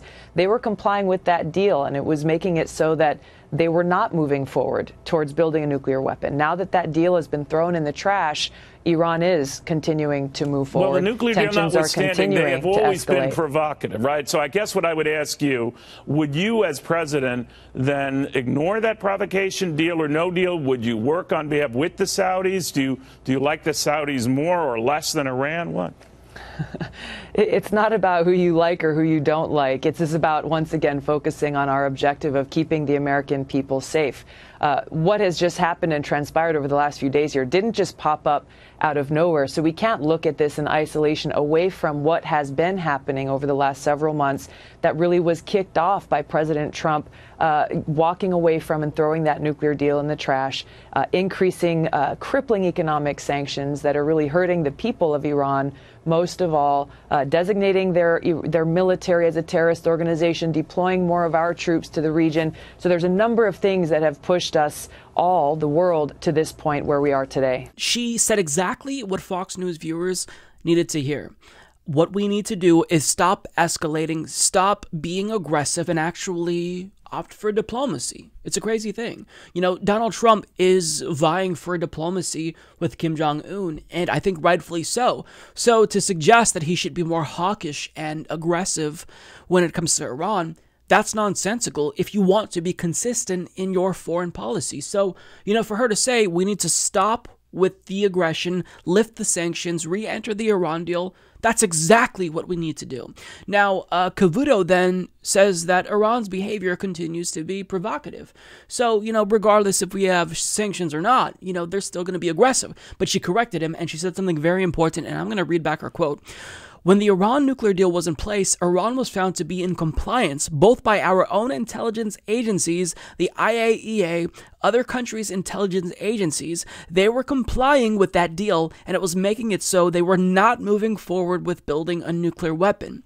Now, this is so crucial because the Fox News audience they've probably never heard this. If you are a Fox News viewer and you've drunk the Kool Aid and you've watched Fox News religiously for years, you've heard nothing but bad things about the Iran deal. That it makes it easier for them to get a nuke and that they violated the deal multiple times. But in actuality, that's factually incorrect. They were in compliance and we were the ones that violated the deal. So if you want peace, if you want them to be less likely to get a nuclear weapon, if you even want to, you know, agree that that's what they want, then um, you have to understand that we are the ones who are responsible. Donald Trump is responsible. Had he not withdrew from the Iran deal, then we would not be in this predicament. But because Obama did it, it's just automatically bad. And that's what Tulsi Gabbard was trying to explain to Fox News viewers. But Neil Cavuto, he kind of took a cheap shot at Tulsi Gabbard by insinuating that, you know, maybe she loves the Saudis more than the Iranians,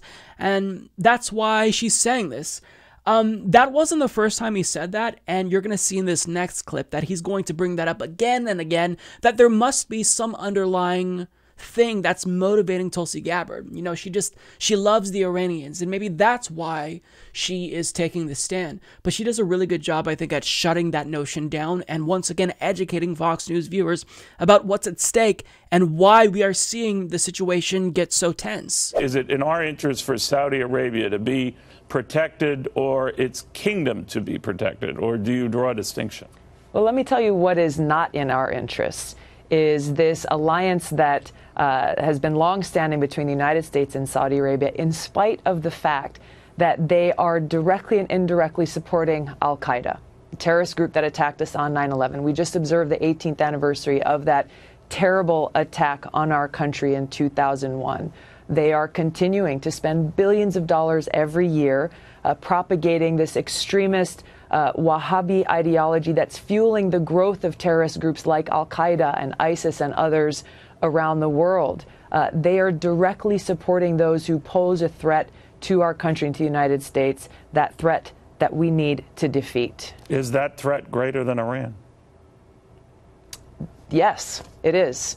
So currently, Saudi Iran Arabia does not, is more of a currently problem Iran, for us than currently Iran Iran does not pose a direct threat to the United States. We have the opportunity to make sure that we prevent Iran from continuing to move forward towards developing a nuclear weapon.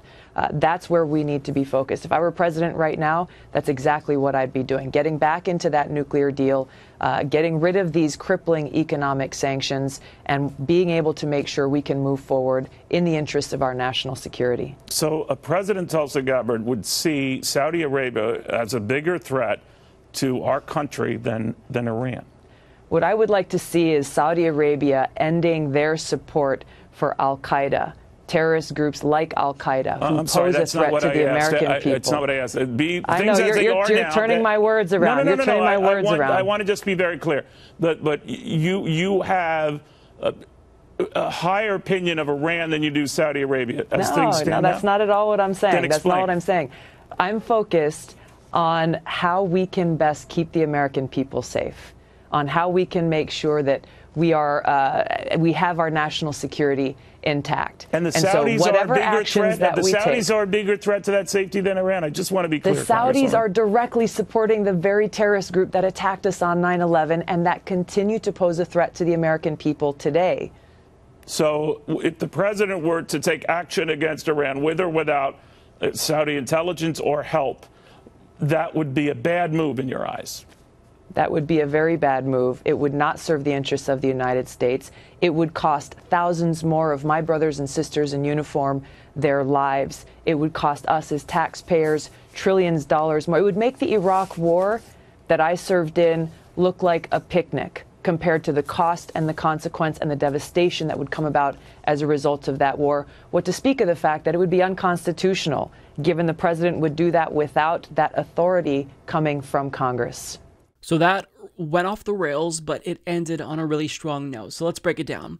So Cavuto asked her, Is it in our interest for Saudi Arabia to be protected? And I think that she handled that answer well.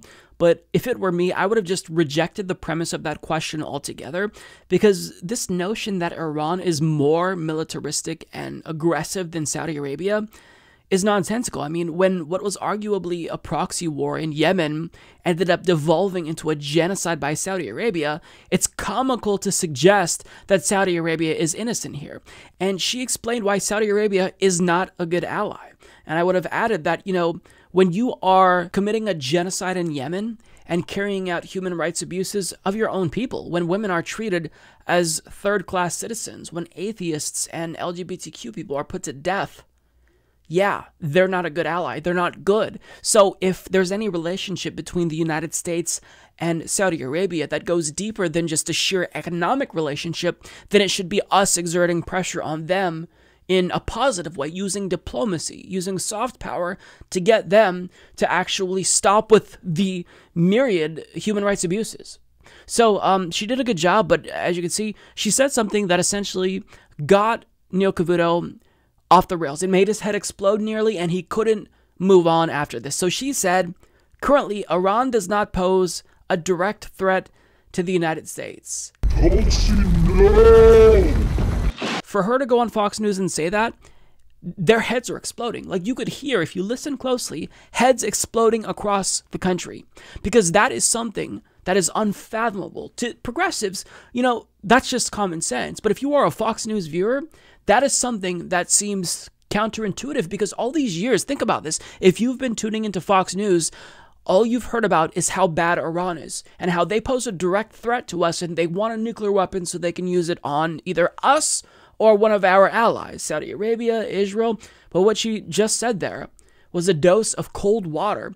And it's why Neil Cavuto, at that point, he was triggered and he couldn't get past the fact that she basically was saying that Iran isn't a threat and Saudi Arabia may possibly be a bigger threat to, you know, world peace than Iran, especially as they carry out a genocide. I mean, crazy thought, right? And even though that was pretty redundant with him just going back and forth with her, I did want you to be able to watch that play out just so you can see how ridiculous, you know, it, it really was. And she ended on an important note that I think you can't really overstate. It's important that we emphasize Donald Trump does not have the authority, constitutionally speaking, to unilaterally wage war with Iran. He doesn't get to do that. Congress makes war.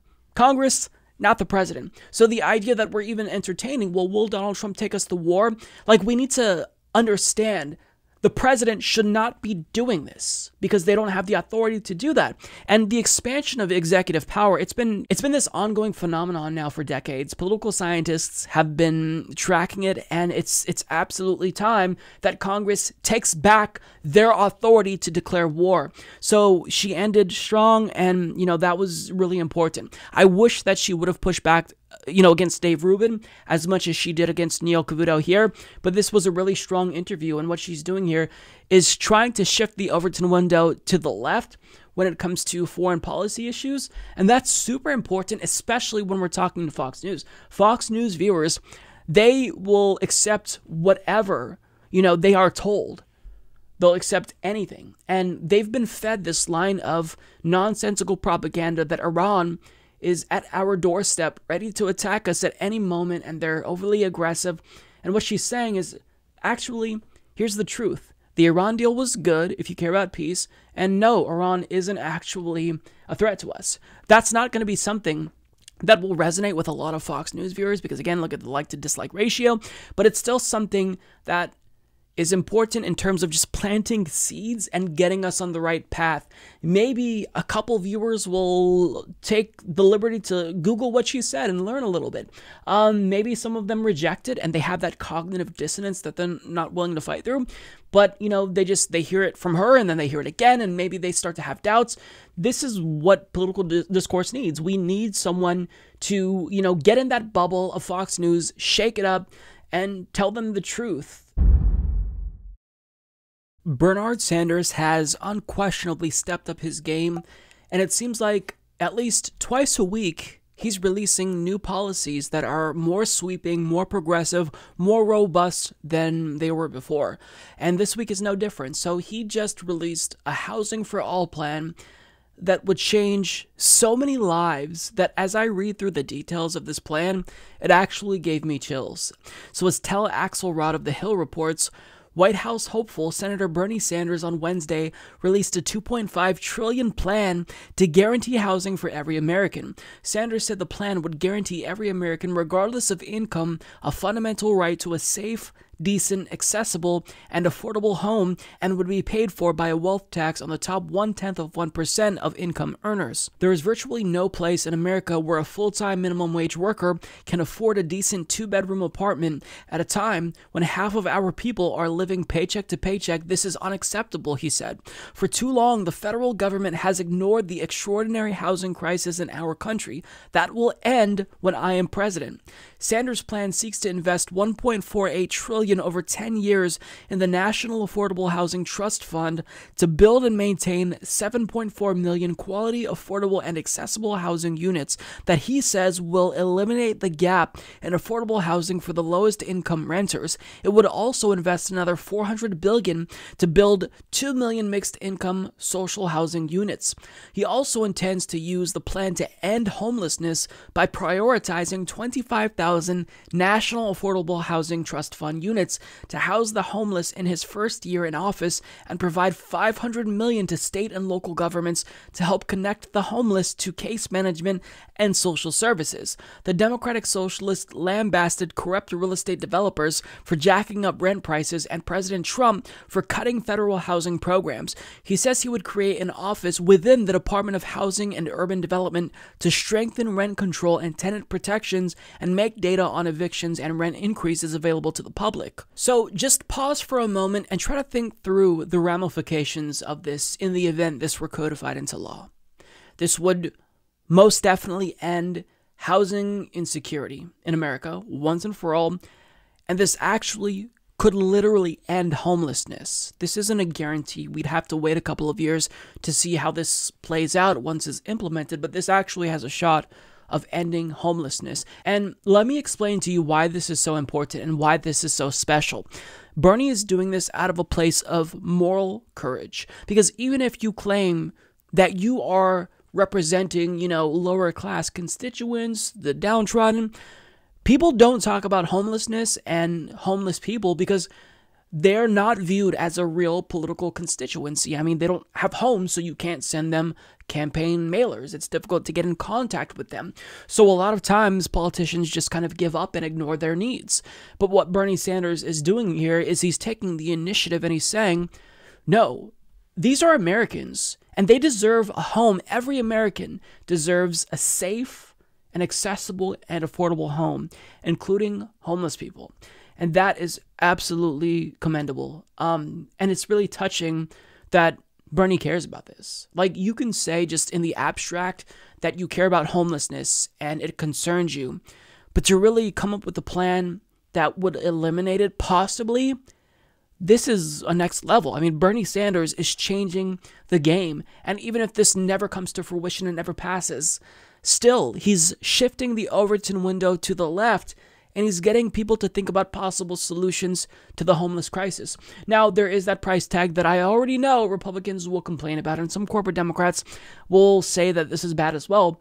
But consider this for a moment. If you're concerned about the deficit and the price tag, before you concern troll, understand that giving the homeless homes overall is actually more cost efficient than the current status quo. It will net save us money. And this was based off of research from Central Florida, where a study found that it actually costs three times as much to police homeless people and, you know, get them to move certain areas than it does to just put them in a house. You know, emergency services, um, law enforcement, that all costs money currently. So we'd spend less on homelessness if we just give homeless people homes. Housing is also a really effective way to reduce alcohol abuse, drug abuse in some instances, and overall, morally speaking, this is just the right course of action because it's difficult to get clean. You know, if you are a drug user and you are an abuser of substances, how do you get clean? And in some instances, maybe drugs is your only escape you feel because if you're sleeping on the streets, what are you supposed to do? Right? Um, so this is just all around incredible policy, and it's not just about homelessness. So I don't want to overemphasize that, even though it's incredibly important. But housing insecurity is such a huge issue. We have landlords across the country that are overly greedy. People they need to be secure. They need to feel as if they don't have to worry that they will lose the roof that is over their heads. I mean, it's a basic necessity that nobody's talking about. So, there's a number of basic necessities, right? As human beings, we should be guaranteed by right of citizenship um, and just as a member of the human race, clean drinking water, healthcare, you know, a roof over our head, basic civil rights and civil liberties. These are things that are non-negotiable. And the way that Bernie Sanders has brought this to the forefront of, you know, political discourse and increased the salience of these issues it's remarkable. Bernie Sanders has done more to change and shift the Overton window in this country than any politician since Ronald Reagan. And when it comes to left wing politicians, uh, definitely since FDR.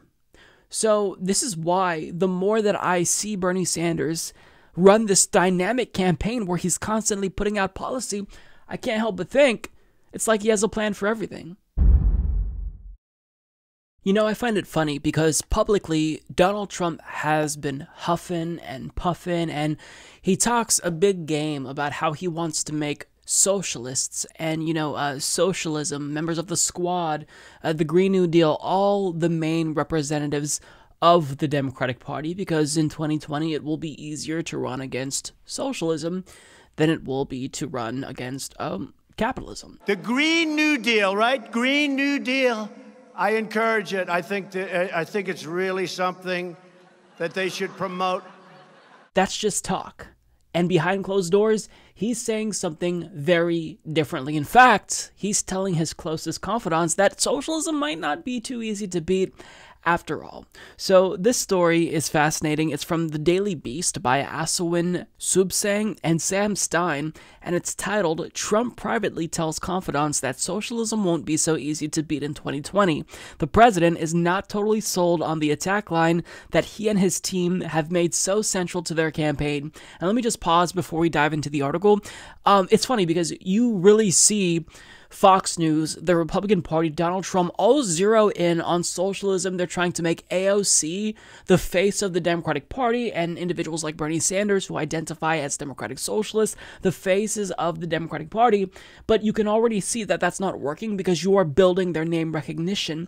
And even if you may not necessarily be making them more popular per se, you're still spreading their ideas. So when you go and you fish through AOC's Instagram in order to try to find something to criticize her for, you're just broadcasting her message to a bigger audience. So, of course, this is going to backfire. It's not a good long term strategy, but I'm glad it's backfiring, and I'm glad that we're learning that actually maybe they realize that socialism is a little bit more of a threat than they initially thought. So, let's get to the article. As he campaigns for re election, Donald Trump and his team have made trashing the socialists or communists in the 2020 Democratic presidential field a cornerstone of their messaging. In private, however, the president often strikes a different, more nuanced tone, one driven by a concern that socialism, at least as defined by the Democrats, may actually sell politically. This year, Trump has repeatedly told friends and donors that running against socialism in a general election may not be so easy because of its populist draw, according to four Republicans and sources close to Trump who've heard him say this over the past several months.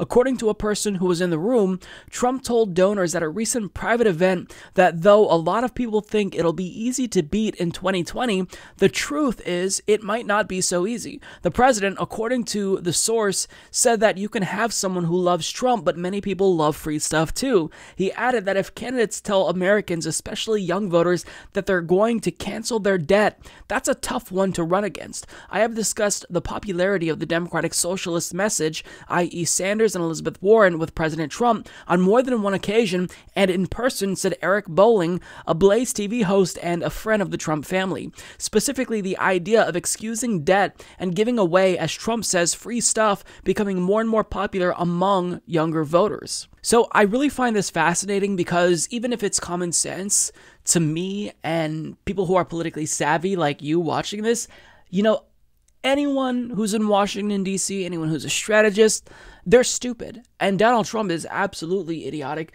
But it's interesting that they're realizing that going up against the populist appeal of socialism is, in fact, something that's not going to be as easy to beat. Now, look, nobody is a sure bet, but this is why I've maintained that Bernie Sanders has the strongest chance going up against Donald Trump. Because when you are a populist, when you are explicitly saying, we're going to tax the rich and invest in a social safety net that directly benefits you, that is popular. It's part of the reason why Donald Trump was incredibly popular and he was this insurgent candidate even within the Republican Party's field in 2016 because he was saying we're going to protect Social Security, we're going to protect Medicare. Now, of course, it was a lie, but even though he may be dim witted, even if he has a low IQ, just I think objectively speaking, he does have the political instinct to kind of see that you do have to appeal to just everyday Americans, right? You have to understand that the establishment is incredibly unpopular. And the fact that he understands that,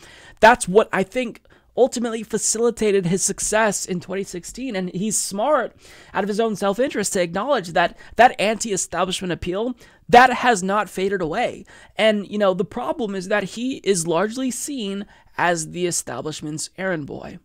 So, you know, it would behoove him to maybe rather than trying to smear people who are socialist and Bernie and AOC, they're not actually democratic socialists. If you look up the technical definition of that term, they are social democrats who believe in a mixed economy. But if Donald Trump was smart, he would try to steal some of their platform. He just canceled the debt of disabled veterans when it comes to uh, student loans. So why not broaden that out and say I'm going to cancel the debt of all veterans or the debt of all people making X amount of dollars or go crazy, cancel all debt. Like you can actually undercut that message if you're smart. But the thing about Donald Trump is even though he knows being anti establishment is a winning strategy, he doesn't have that authenticity anymore because he is the president and he has done the bidding of the establishment. The first thing he did, his first major legislative accomplishment, was a tax cut for himself and the elites. So, of course, even if he came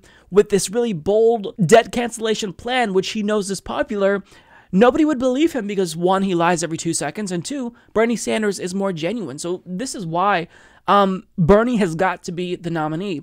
I think that it's really difficult at this time in the race to say definitively that one person is definitely going to defeat Donald Trump because things can change. 2020 is a long ways off, at least until the general.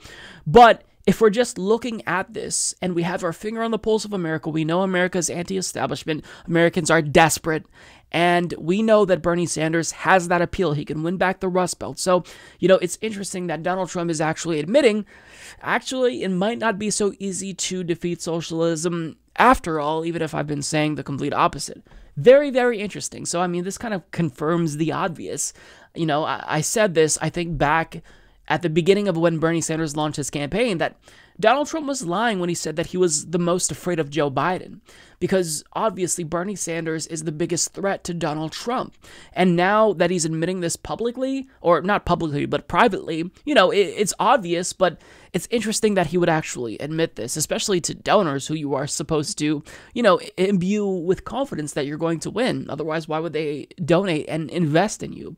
So, fascinating all around. Of course, Donald Trump is correct here. He absolutely should be afraid of Bernie Sanders because if Bernie Sanders is the Democratic Party nominee, Donald Trump's ass will most likely be kicked.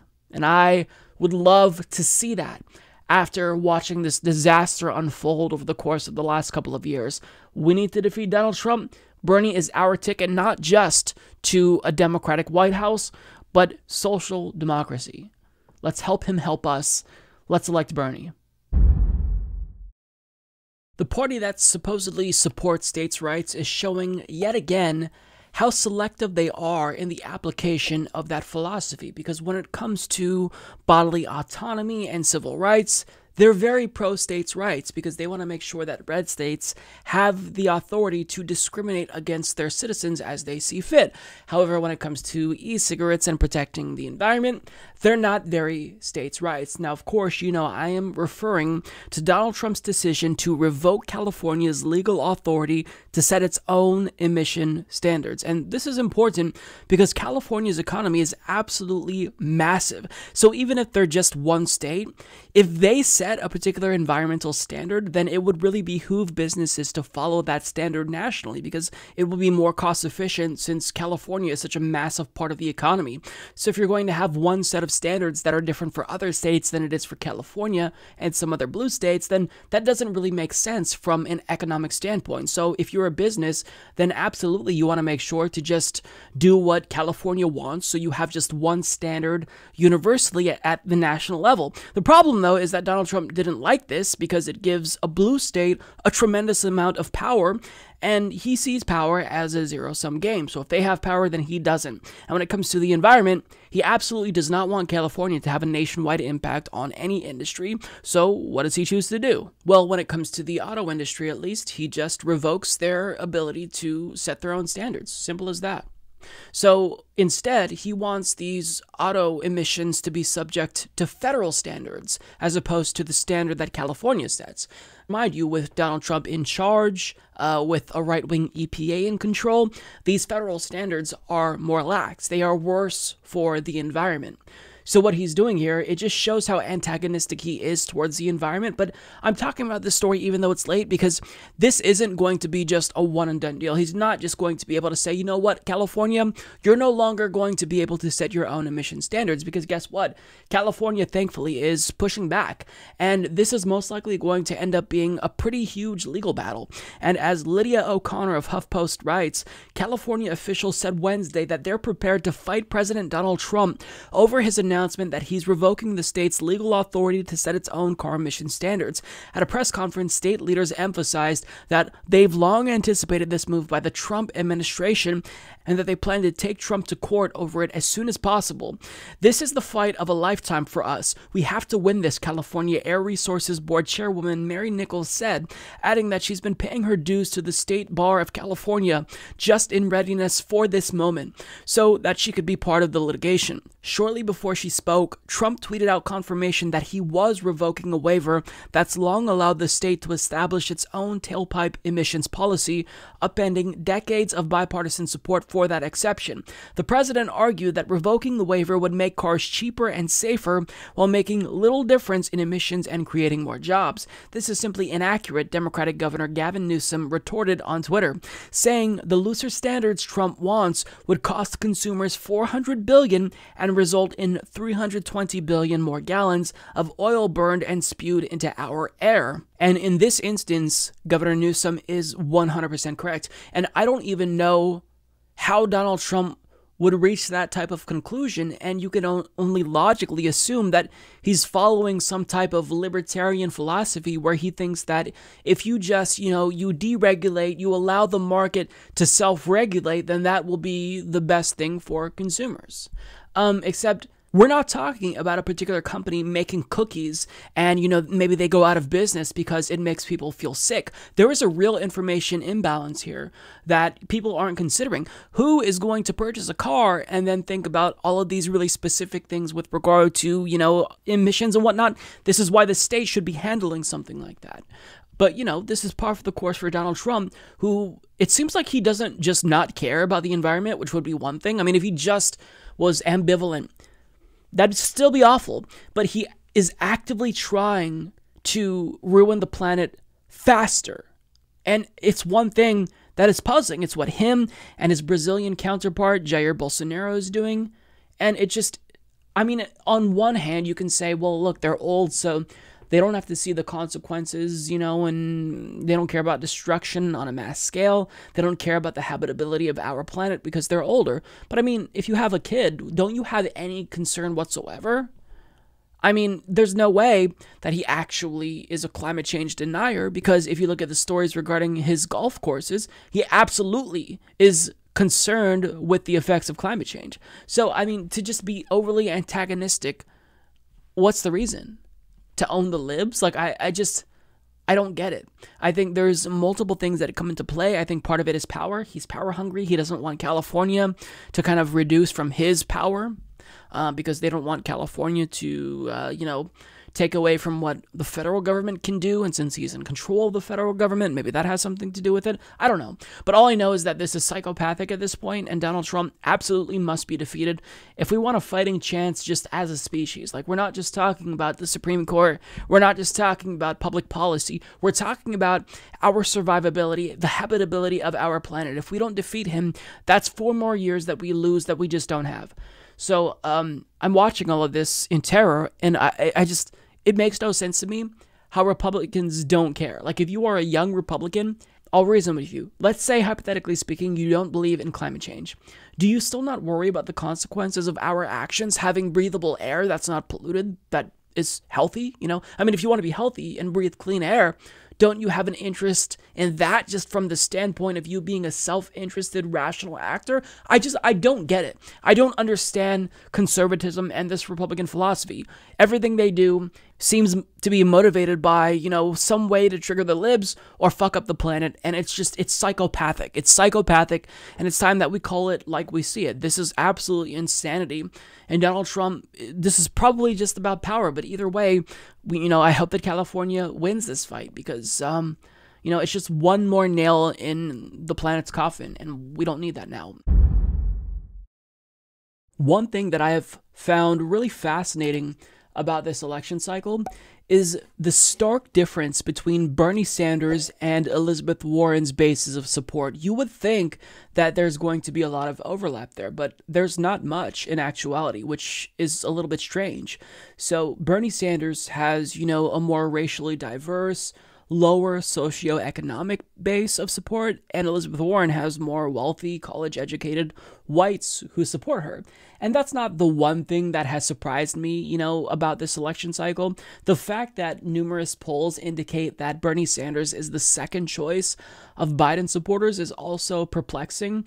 So people, you know, sometimes you can rationalize the way that they come to conclusions, other times I'm left speechless. So it's why I really enjoy segments where we just see people interview voters. I think that's important. Yes, these are anecdotes, but whenever I see Alisyn Camerota talk to a panel of voters in Iowa and CNN, whenever I see Emma Vigeland of Rebel HQ go out and talk to Trump supporters, or, you know, Amy Klobuchar supporters, I always find these incredibly fascinating because if you don't talk to people, then you're not really going to understand the way that they're thinking, and that's going to make it more difficult to sell Bernie Sanders to them. So I think that we need to be engaging with people who we wouldn't normally engage with because we need to talk to them to find common ground, to figure out ways to sell the policies of Bernie Sanders to them so we can win. Now, one thing that Emma did recently on uh, Rebel HQ, she talked to Warren supporters about why they're choosing Warren over Bernie Sanders,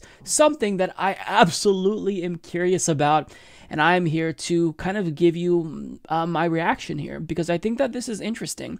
I don't know fully what to expect when you compare Warren supporters with other candidates. If you talk to Joe Biden supporters, I mean, I wouldn't expect much policy substance. If you talk to Donald Trump supporters, I would expect sheer lunacy. But if you talk to Elizabeth Warren supporters, I would guess it's a mixed bag. So Emma is going to talk to them, and we will uh, watch.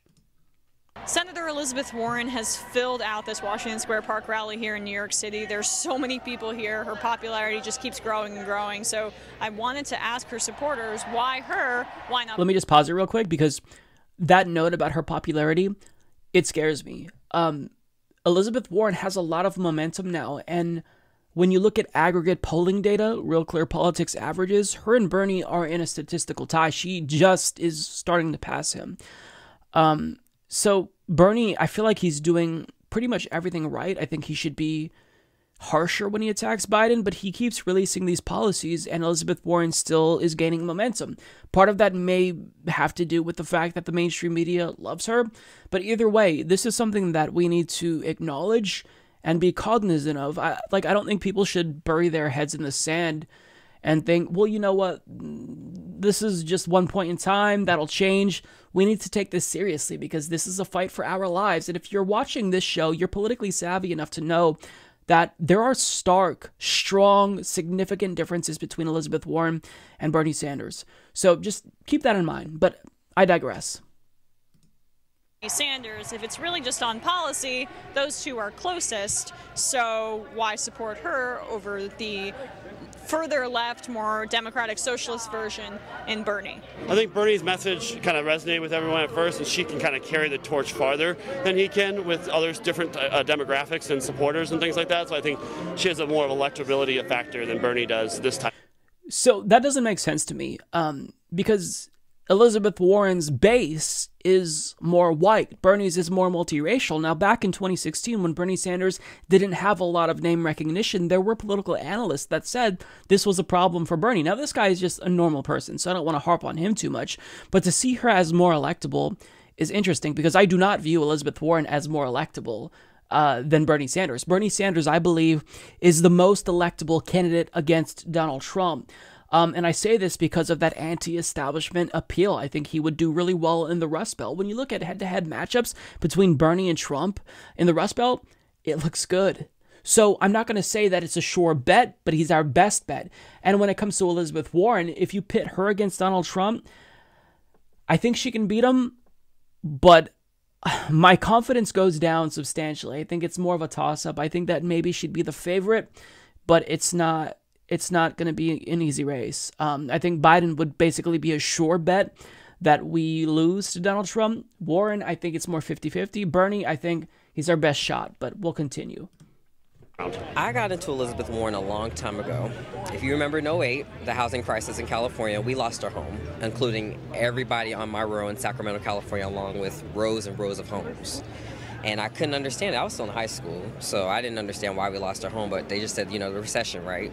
So as I got older, I got some researching and I saw her and how she's been fighting and screaming at the top of her lungs about why we're going to recession, how this can bankrupt American families, and at the end of the day, what we can do about it. So then she ran for Senate, and then she's been out there being the voice of what I really have been going through. So I believe in her in my heart and soul. I understand the Bernie supporters, I get them. But Elizabeth is my heart and soul because I feel like she's really speaking to what I've been through. And I'm still a capitalist. I still believe in markets, but I believe in rules and regulations. Like everything she believes in, I really do believe in. I like Senator Warren. Okay.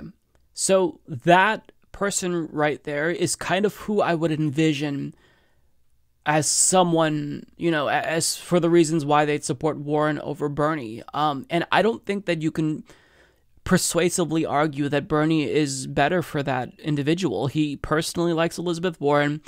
And, like, I think that the instinct, if you're a Bernie supporter, um, and you're probably to the left of him, would think, well, I have to convince him on policies X, Y, and Z, why Bernie is stronger here. I think that's a waste of energy. I think that what we need to do is go after people who are not as certain, who don't necessarily know about the differences between Bernie Sanders. And if somebody knows that Elizabeth Warren is a capitalist to her core and maybe she doesn't want to blow up the game but just change the rules a little bit, that's going to be difficult to argue against. So I wouldn't dedicate my time just if I had a family member like this. You know, well, I mean, I would if I had a family member because I argue with anyone in my family. But I mean, like, if you know a friend like this, I think your time is better spent going after people who aren't already committed because it's going to be very difficult to get someone like that to budge. I mean, you can make the case, yeah, capitalism sucks, democratic socialism or social democracy, that's the way to go, but you're not going to convince them, you know, in, in, that short amount of time. We have a finite finite amount of time. Why is that so hard to say? Um, so I think that it's really important for us to focus on the gettable people, and I just feel like that person is not gettable. He has his reasons, and I think at that point we just have to respect him and move on to the next person and um, try to woo them. Because she has, well, like her slogan is, "I have a plan for everything," but also she talked about getting rid of the filibuster, which I think is very important because nothing will be passed if you don't get rid of the filibuster. Because when okay, I gotta stop it because again, this is hard to argue against if you're a Bernie Sanders supporter. Like he I disagree with him on the filibuster. Um and I also disagree with him when it comes to court packing. So those are like the only two areas where you can say uh, realistically that Elizabeth Warren outflanks him to the left. So I don't know how to argue against that because I technically agree more with Warren here, although Bernie Sanders did kind of give me a little bit more confidence when he said that he would use budget reconciliation to get just like a 50 plus one vote to pass policies like Medicare for all. But ideally, I think that, you know, look, if we get rid of the filibuster, is that a risk? Yes, but it's a risk that I think we need to take, right? Because Republicans will do it.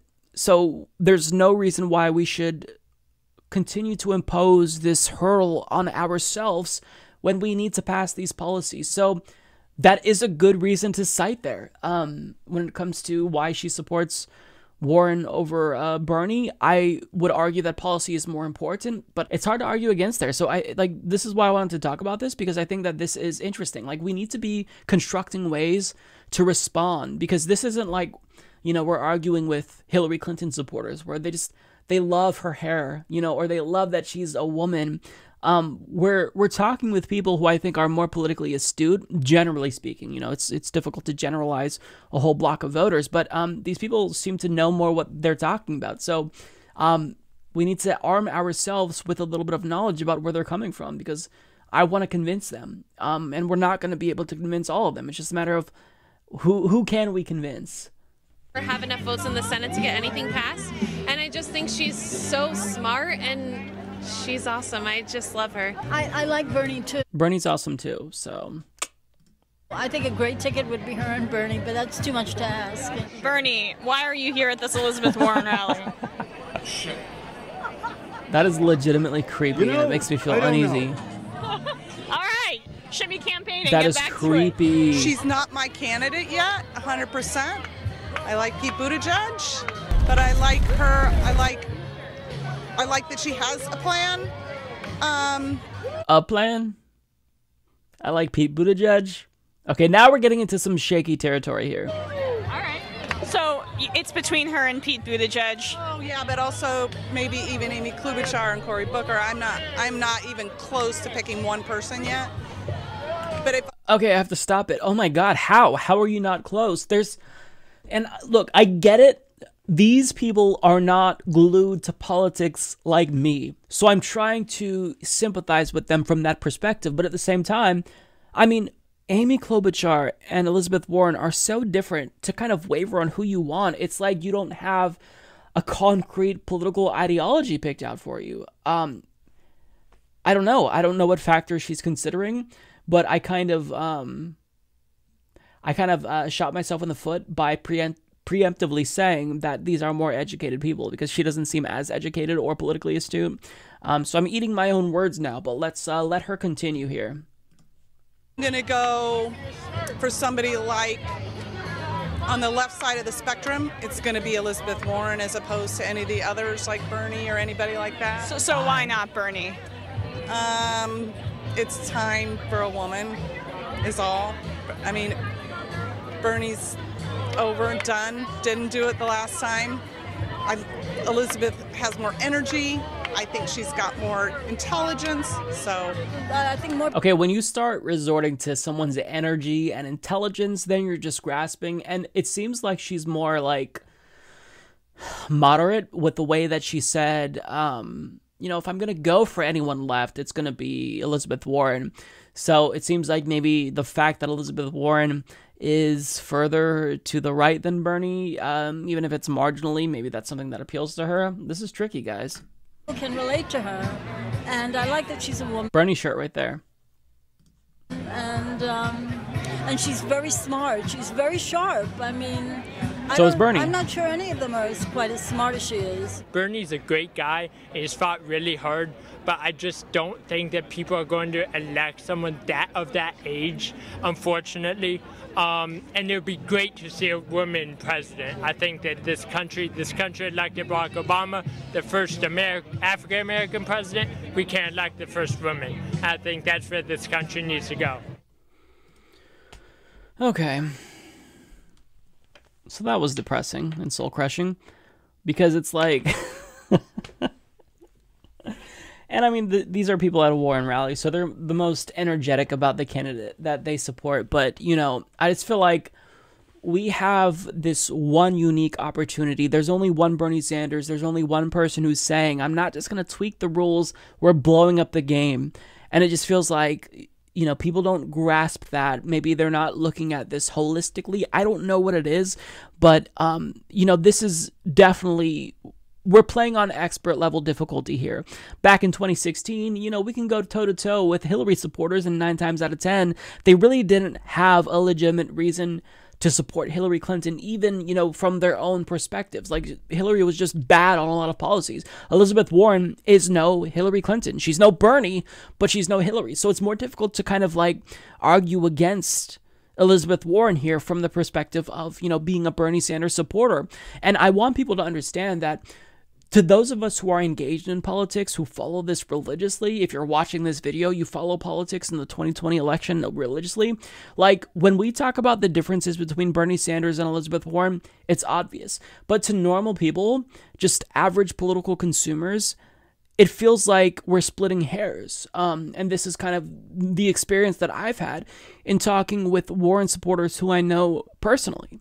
They just they can't understand, Mike. Why would you support, you know, Bernie over Warren when they're the same? And you can also, you know, get a woman president. Now, of course, I run through my entire list. You already know the same shit that I say. It's the same shit that I say on the podcast. Um, it's just a matter of how we pitch it, and it's tough when you see Bernie and Warren head to head, um, you do have to draw these distinctions. But I've made this point before, and I think it's important for us to kind of go after uh, Warren now when Biden is still in the race. Like, if Biden wins, who's still the biggest threat, we're all fucked. Bernie and Warren supporters. And I don't think that Bernie Sanders and Elizabeth Warren should aim at each other because if they start driving down each other's support, then Biden could potentially get a boost, or some other corporatist like Kamala could rise again, or Pete Buttigieg. So we're kind of in this weird situation at this point in time. Maybe this will change. I mean, these these poll results, they're a good indicator of where people are at. But you know this can change, right? Um, so I don't know, but I, I think that this was interesting, and I hope that people will listen to voters and try to figure out ways to um to just argue for their candidate. Now, there's one other video that I want to play from Emma Vigeland where she asks, "Do Warren supporters like Bernie?" Part one is attack the corruption head on. Part two is Now, this is from June, by the make a way. couple of structural changes But um, in nonetheless, this economy. same theme. And part three, let's protect our democracy. Let's not do big fundraisers in I'm the general then, maybe? Warren rally in Miami the day before she's set to take the stage in the first Democratic debate. What's interesting to me is that Elizabeth Warren seems to have the support of many establishment-minded voters. Yeah. Third Way said they'd be okay with her, uh, although I think that's the minority, and also progressive-minded voters. So she's bringing these two groups together. Why is that? And uh, if Elizabeth Warren isn't the nominee, who would these Warren supporters back instead? And this is a good Elizabeth Warren question. your number one candidate, would you say? I would say she's in my top two. Who's the other one? Can I guess? Is it Bernie Sanders? No, not Bernie. Uh, Kamala Harris. Is Oh my two. Is- God. uh, between her and Elizabeth. You're fucking Warren. killing me. It would probably be Kamala Harris. What? I kind of want to learn more about the other candidates. She's And this was from June, and then I would mind you, but I want to learn more about Yang. So by my This was before Elizabeth Tulsi Warren is the crushed most Kamala. progressive candidate in the race after Bernie Sanders. So I was curious to find that a lot of the supporters here aren't considering Bernie Sanders as their second or third choice candidate, and in fact don't like him at all in some instances. The 2016 election was so divisive um, and tore apart the Republican Party and bec- I mean the Democratic Party, and and that is part of the reason that we have Trump in the White House. And I just think that it's really time. I mean, it's it's just not the right time. We've got to get rid of Trump in power, and I don't believe that having Bernie in the mix is um, a good thing for the party. I'm a supporter of Elizabeth Warren. Um, I'm actively donating to her and to Bernie Sanders. I think those are the only two candidates right now that are representing uh, quality values in Americans, the young people um, against corruption, standing up against corruption, the big corporations that are uh, polluting the environment and just running, running over all our industries, exporting our workers overseas, and um, just keeping all the profits for themselves. I don't understand where the discrepancy comes in. I mean, it could be that Warren is a registered Democrat or Warren is a woman. I don't know. I don't think people, when they say that they don't like Bernie Sanders but they like Elizabeth Warren, I don't think there's a lot of substance to that. I, I think maybe they are unaware of how close on the issues they actually are. A lot of people would say that Bernie Yeah. Sanders is closest to Elizabeth Warren on policy. He's not in your top three considerations. Um, just Why? um, what happened in like the previous, um, you know, presidential run? I, I was for him for a while, but I feel that his values are a little too extreme for me. If Bernie's looking like he's going to lose uh, to Biden, then I'll definitely have to switch support to to uh, to Bernie. Can you explain why it's between Kamala Harris and Elizabeth Warren? Yeah, so uh, I think it comes back to the kind of the similar reasons why I was a big Hillary supporter. Um, I was raised by a Ugh. mom, and I guess through the eyes of my mom, I kind of understood the the unfair struggles that you know women have to go through, especially in in a world dominated by men. It's about opportunity. So you opt for Hillary Clinton, who likes to bomb well, uh, women in the Middle East and North Africa. Cool. Okay, I'm being a dick. um, it, a lot of Elizabeth Warren's base, it seems like there's a lot of overlap with Hillary Clinton's base, and um, you know, it's really difficult to break down, you know, human psychology here and why you, why you know policy isn't the utmost concern for you in this primary, especially if you're a Democratic Party voter. Um, they're thinking about electability, they're thinking about 2016. You know, it's a lot. It's a lot to take in if you are a Bernie Sanders supporter. But look, we've got a we've got a long way to go. Um, so I don't want you to feel depressed. I don't want you to feel demoralized. Anything could happen in this race. Things change constantly, and they'll probably change 10 times until we actually see the results in Iowa, uh, which I believe is February 3rd. Um, so kudos to Emma Vigeland for doing these. I always find these incredibly fascinating. Um, it's nice to pick the brains of voters. It's important. Again, these are anecdotes. Um, but it's it's nice to kind of step away from like the numbers. You can look at aggregate polling data, and that gives you a lot of really important information. But it really it really is important, I think, to kind of dive a little bit deeper and talk to people and ask them, you know, if they're outside of our bubble, why do you not support Bernie Sanders if you are a Democratic Party voter? You're presumably a left winger. Why opt for someone who is essentially a centrist and, you know, Kamala Harris? So it's all incredibly important. I just wanted to share my reaction. Um, we've got our work cut out for us, but it's not over yet, folks. So don't get too discouraged. Growing up, we didn't have much, but I had dedicated parents that taught me and my sisters the importance of giving back and taking care of one another. I was sick as a kid. I had severe asthma that forced me to miss a lot of school. My mom, being the compassionate person that she is, was in and out of work because of the care that I required. My dad faced racism and inequities that prevented him from obtaining upward mobility in a sustainable way. My story has become far too common in the 1st District of Illinois. Many of us live in poverty. Our babies are more likely to get asthma. We're more likely to have lead in our water and more likely to be shot.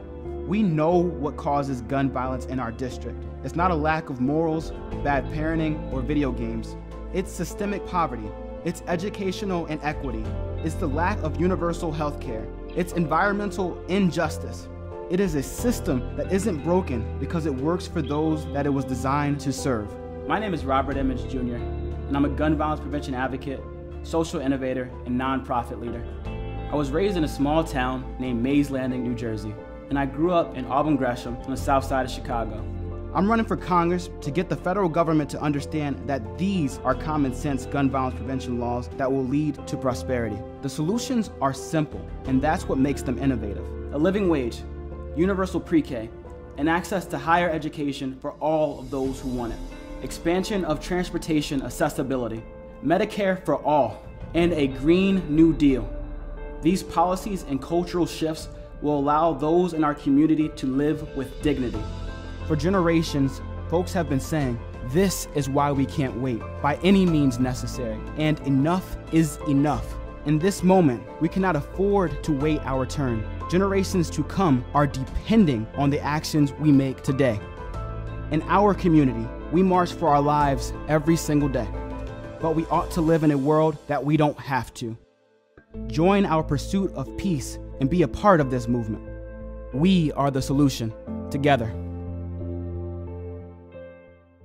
Hello, everyone. I am here with Robert Emmons Jr. He is a 2020 congressional candidate running in the 1st Congressional District of Illinois, and he is here to talk about his campaign. Robert, thank you so much for coming on the program.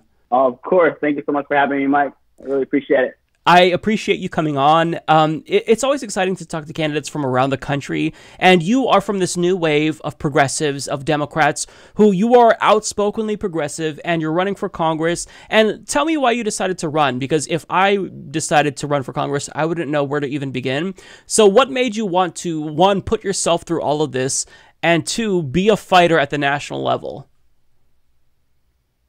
Yeah. Um, that's a really good question that we get at every single town hall. Um, and I answer it differently sometimes depending on what's going on in, in my life because um, there were so many different things that happened uh, back in 2018 when I first made the decision uh, to run for office. Um, but today I'll talk about uh, just how I grew up um, once I moved to Chicago. Uh, so I moved to Chicago uh, when I was uh, 13, turning 14 years old. Um, and I distinctly remember uh, in my high school on the south side of Chicago, every now and then having an assembly um, which the teachers would bring us all together. Uh, and they would inform us that we had just lost a classmate, um, a friend, a family member, the, the, uh, uh, the former classmate um, to gun violence that, that weekend. Um, and I remember in those moments thinking about how critical it is for us to to act um, and to not just allow that to become normal um, because we are losing so many futures uh, to senseless gun violence. Uh, so when when I was thinking about what I wanted to do when I finished up high school, um, I knew I wanted to get more involved in advocacy. So I applied and got admitted to the University of, Illinois at Urbana-Champaign with my two friends, uh, in which we roomed together our freshman year. Um, and that's when I began to really get involved in advocacy, um, criminal justice reform, gun violence prevention, um, you name it. I really wanted to get involved in it. Uh, and during that first year of college, uh, I, re- I remember uh, talking to my friend, uh, one of my roommates, uh, about his grades um, and how they began to slip. Um, and then he received a letter from the University of Illinois at Urbana-Champaign um, telling him that if he didn't get his act together, he'd be kicked out. Uh, and despite his best efforts to to bring his grades up, uh, he was unsuccessful and ultimately kicked out. Um, with that, he, he tried to, to remain successful and um, and, and try to be resilient like he's always been, uh, but he um, unsuccessful in that as well. Uh, and he to move back to Chicago. Um, and when he moved back to Chicago, he fell deeper into poverty, um, and he ended up getting into some getting into some bad uh, bad things here in Chicago. And in 2015, uh, he was shot and killed. Um, as you can imagine, that that devastated me and every single uh, person that was in his orbit.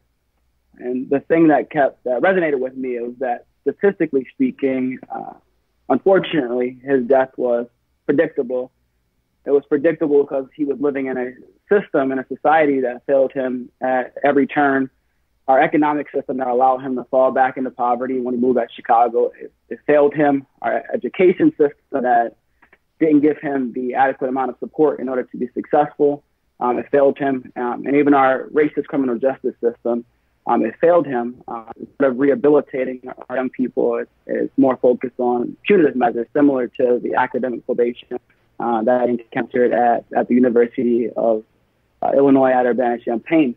Um, and I think what drove me to to run for office was, um, even though his death was statistically speaking um, predictable because of what's going on in our in our current society, it, it was also 100% preventable. Uh, it's preventable with a living wage. It's preventable with access to higher education for all of those who want it. It's preventable with Medicare for all, with the expansion of access to mental health care um, and criminal justice reform and a Green New Deal. Um, so I'm running for U.S. Congress to make this the very last generation to be faced with everyday gun violence. Um, and to do so, we need to address it uh, at its root causes. Um, and that's what we've been missing um, in our country. Uh, and the national media uh, seem to not care as much uh, about what goes on in communities like mine um, as it pertains to gun violence. Uh, so we're going to make sure that we are setting a vision uh, for the country so that people in my community can live with dignity and live in safety um, and prosperity and peace. Uh, so that's why we're running for, for U.S. Congress is uh, to, to fight for these progressive uh, progressive issues, um, to, to make our, our lives and lives of generations to come um, brighter uh, than what the trajectory would suggest today. And I'm so glad that you shared that story. And the reason why I like to ask people why they're running for Congress, even if, like, generally speaking, like, nine times out of 10, when you ask a candidate why they're running for Congress, they talk about their qualifications. They talk about, well, you know, I was a mayor and I have X, Y, and Z qualifications. Yeah. But when I talk to grassroots candidates like yourself, you always really you have this personal story, this personal thing that happened that impacted them. And the reason why I like to ask this question is because running for Congress is it's just a huge personal sacrifice. Like it takes so much effort. Like you're probably not getting any sleep. So I like to ask, and there's always a reason behind it. And for you, that personal yeah. story, absolutely, um, that resonates with people. And I'm so glad that you you decided to step yeah. up. Now you talk about root causes. I want to read a quote from you. This is in your ad. Um, this is probably my favorite quote of this entire um, race so far. So this is what you say, quote, "It is a system that isn't broken because it works for those it was designed to serve." I know what you meant by that, but I want you to elaborate because that is such an amazing way to frame it and it makes so much sense. So, what policy prescriptions do you have to fix it? Yeah, yeah, that's I'm glad you pointed that out. Um, it was a derivative of just what I've I've seen other activists around the country um, saying. So a lot of times you, especially in rallies, we, we talk a lot about the system being broken and dismantling the system. Uh, but it occurred to me in this campaign actually that the system isn't necessarily um, broken. Um, it's unfortunately um, it's it's corrupted and it's greedy uh, and it feeds off of the vulnerable in our communities, um, like our criminal justice system, uh, and how uh, it's fueled uh, by the am- amount of folks who are incarcerated and how we've privatized our prisons uh, since 1984 um, and perpetuated policies like the 1994 crime bill, uh, which exasperated vicious cycles of poverty uh, and, and, and, in that case, violence in our communities. Um, and it's working pretty well. Um, the, the prison industrial complex is, is a billion dollar industry uh, for, for private institutions. Uh, and uh, so it's, it's working pretty well. Um, but we do need to dismantle it because it's not working uh, well for those it was designed to hurt um, intentionally. Uh, so that's just one example of uh, what we're fighting, what we're what we're talking about when we're talking about broken systems. So one thing we can do um, with using the criminal justice system um, as an example um, is to ban private prisons. Um, no one should profit off of, of folks being incarcerated. Um, it, it again, it adds uh, to this this ugliness um, that has existed in America um, for a few decades. Um, in which case, I, I, know you've seen the stat: the United States has five percent um, of the world's population and 25 percent of the world's prison population. Um, and one out of, that means that one out of um, um, every 110 citizens have been incarcerated within, within their lifetime, and that's an ex- extremely vicious capitalistic way of of repairing our society when someone um, does misbehave in, in some way. So we need to ban private prisons all altogether um, and and invest in making sure that our system, our criminal justice system, is uh, curated around repair and restoration and rehabilitation, um, and not just punitive measures um, that just don't work. Um, and that's why our recidivism rate here in this country is, is so high.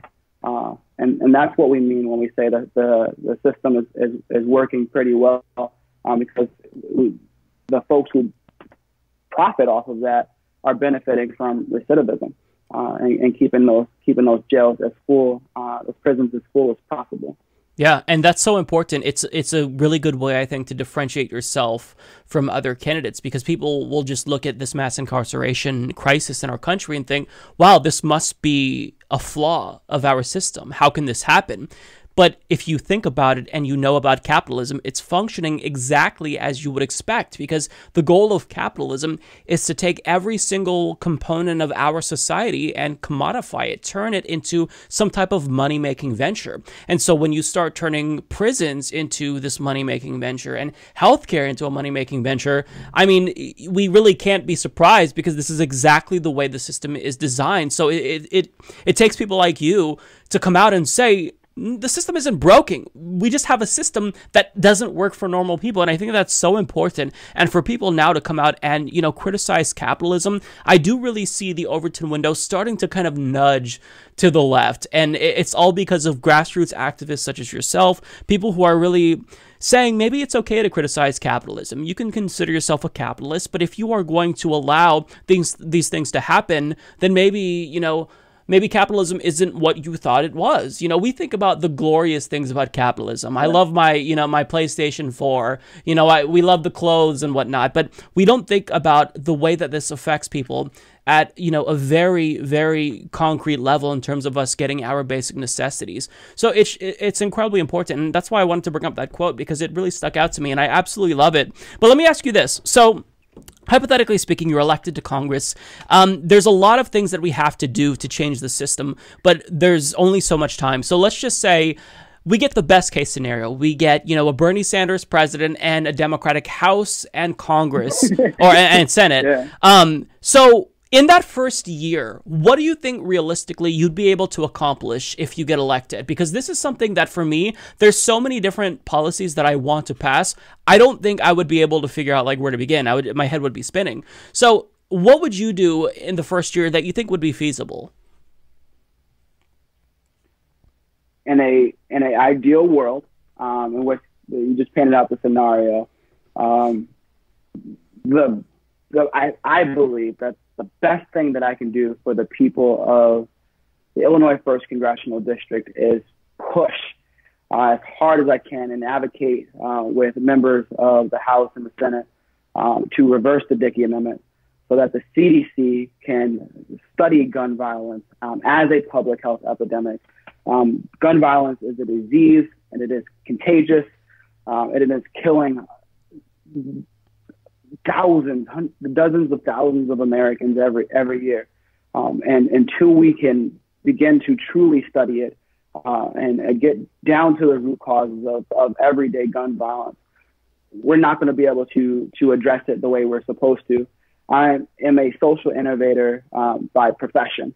Um, I go around the world uh, with an innovation lab known as Unleash, bringing together a thousand young people from around the world to solve some of our most pressing issues uh, focused on the United Nations Sustainable Development Goals.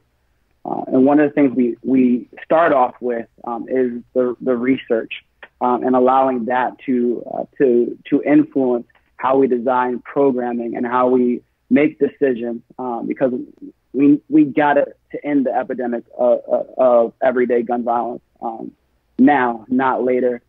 100,000 Americans are either wounded or killed uh, by a person with a gun, uh, whether that be themselves or or someone um, in their communities um, every year. At that rate, there are going to be a million Americans that will have been directly impacted by gun violence within 10 years. Um, that is a crisis um, that isn't talked about enough um, and is only talked about uh, when there is a, a, na- a national mass shooting, which, uh, which the media uh, centers in on. Uh, but this is going on in our communities every single day. Um, and, and we have to solve it. Um, and we have to solve it once and for all. But to start, like I said, reversing uh, the, the, the Dickey Amendment uh, so we can actually study gun violence and allow that research to influence our decisions um, and, and, how we we advocate and continue to fight for a peaceful peaceful world in, in all of our communities. That's awesome. Uh, what else would would you think would be feasible? Because that actually is something that I think there would actually be a large enough consensus to where that would get done. Because like it really is it's absurd that the CDC can't study gun violence. That doesn't even make any sense. And of course, you know, that is written exclusively just for the gun lobby. It's it's embarrassing that that yeah. is even a thing. Um, and I actually do think that the, even the Democratic Party would be on board with that. That's kind of a basic step. Um, what else do you think could be accomplished in that first year? Because you're going to have a lot of people. Like what I noticed is that each um, candidate running for Congress, they all kind of have have their own bread and butter. Like some are focused on healthcare, some are focused on housing rights, and you're coming to Congress with you know a, a gun reform agenda. So what else do you think could be accomplished in that first year? Because I feel like if we truly do get um, all three branches, well, maybe not Supreme Court, of course, that's not something, but I mean, electorally speaking, if we can elect, you know, a Democratic House, Senate, and White House, then that first year, I think we can accomplish a lot. So, what else do you think could be done, realistically speaking?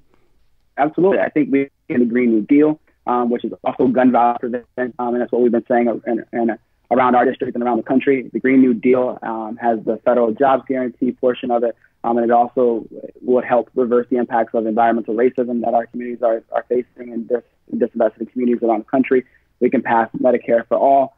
Um, again, gun violence prevention, uh, gun violence prevention policies uh, with the expansion of mental health care uh, for members of my community that are suffering immense amounts of trauma um, that perpetuate cycles of, of violence. Um, I think we can pass education reform the the the way we fund schools and and and uh, in Illinois is, is, are heavily based off of housing taxes, uh, which means if you live um, in a poor community, your school is likely to be under resourced, uh, which uh, which is an injustice in and of itself, and again set up intentionally like that. Um, so we can we can pass all these progressive issues, um, and the reason why I feel prepared uh, to champion a lot of a lot of the policies I just um, I just uh, I just uh, explained and, and, and, listed out is when you think about a lot of these progressive issues that we fight for, um, the issues themselves did disproportionately impact uh, black men um, under the age of 35, um, like our criminal justice system, like education, like gun violence. Uh, yet we don't have a single member of Congress that fits this demographic either in the House or the Senate. Uh, so that means we're missing a key voice in Congress right now um, one that understands the interconnectivity um, of these issues, um, having gone through it, having been from a community um, that is facing it, uh, and having friends and family um, that face these obstacles. And fortunately, for a good amount of us, overcome them through resilience. Um, but we're missing that voice right now. Uh, and I believe I can bring in the stories of, uh, of my district and, and bring in the stories of, of people around the country um, to begin building more bridges um, in Congress so that way my kids, your kids, our grandkids aren't aren't fighting for the same things that we have to fight for uh, right now. Uh, that's the mark of a sustainable society is generation after generation uh, progressing, uh, and that's the way I look at progressivism, uh, and that's why I happily call myself a progressive. Um, and given that scenario that you illustrated, um, an ideal world, uh, as long as we're we're civically engaged right now, uh, we can realize that. Uh, I, I believe that the, the, the sky isn't even the limit for what we accomplish. Um, and then lastly, here's the big kicker, Mike. Uh, we, we gotta we gotta figure out a way to get money out of politics. Yeah. Um, because that is that is what uh, what is uh, hurting and stunting our growth as a country. Um, even though you have 90 plus percent of the country um, uh, believing that we need comprehensive background checks. You still have a Congress um, that that isn't moving the way it's supposed to. We got we got Mitch McConnell uh, holding HR eight and HR uh, one one one two uh, on on his desk uh, because of influences like uh, like the NRA um, and other dirty special interests that prevent them from actually moving. Um, so we need to get money out of politics, and I believe we can do that with a progressive uh, uh, executive and legislative branch. And then uh, we got some work to do on the Supreme Court. Which yeah, we. Uh, we could talk about it. And then we got some work. We got some work to do. Yeah, um, that's a whole different have- conversation. I just got off the phone with my communications director. We're writing a blog on, on it, so uh, so it's fresh on my mind. We're, we gotta Yep. get that uh, get that person out of it. We don't have to talk Absolutely. about that now. though. oh, I, for sure, for sure. There, there's so, we could we could literally talk for 24 hours straight about everything. No, uh, so basically, what you all talked about is it's phenomenal. You laid out like your agenda. You cited the lowest common denominator. But let me ask you this though. So you're running against Bobby Rush. Um, he's been in there since I believe the uh the 90s. I want to say I don't know the exact year. Um, so you're running against someone who doesn't have as high of a profile as other Democrats. So my question is, oh, hang on a second, I just activated Siri. Okay, sorry. So my question is, um, what is it about Bobby Rush that makes you feel as if you would be a better voice for individuals in that first district of Illinois? Because for like if for example we have Shahid Buttar running against Nancy Pelosi, Mckayla Wilkes running against Steny Hoyer. So to people who aren't in that district, it's obvious. But for your district, you kind of have to lay it out a little bit more for people who aren't there and don't have the context. So why do you feel as if you are better suited to represent that district than Bobby Rush? Yeah, that's a, a great question um, and one that's critical um, in terms of developing contrast between me and, and the, the current incumbent in which I respect. Um, and I, I, I honor his years of activism in the 60s and the, and the 70s. Um, but since he's been a congressman, um, he was elected the same year in which I was born. Uh, I'm 26 years old. Um, he's been in Congress for 26 years. My birthday is in uh, for I guess about uh, three weeks. Uh, Happy birthday. so I only won't be able to use that. Thank you. I won't be able to use that talking point for about a month since he was elected in the general election in November 1992. So we'll, we'll we'll stop using that for a month. It's a good Um, one. But, but until then, uh, at 26 and 26 and 26. Um, in 1994, um, he voted for the disastrous crime bill. Uh, and a lot of Democrats were were wrong about about that that crime bill, um, and I I do think that it did originate with good intent, but ter- it had terrible um, impact on on Black and Brown communities around the country, um, instituting three uh, three strikes and you're out, uh, and uh, you just go on and on and on about how bad that was. Um, and we would have given Bobby Rush a pass um, because of, of the information that was available then relative to what's available now. Um, but 25 years later, um, in the mayoral election here in Chicago, um, he supported a candidate uh, for, for mayor, and there were plenty to, to choose from, um, that in broad daylight, in an effort uh, to reduce crime, proposed that we spend $50 million in drone surveillance um, in black and brown communities. That is the same, the, the same methods that uh, the 1994 uh, crime bill um, instituted, which does nothing but militarize and criminalize communities. Uh, so that means Bobby Rush, even though he said that was the, the, the worst thing he's ever voted for, um, he hasn't learned from it. Um, and it's important to learn from your mistakes. So that's that, that that's that's one thing. Another thing that uh, that uh, that just makes us drastically different um, is our understanding of how to solve the climate crisis. Uh, Bobby Rush sits on the Committee on Energy and Commerce.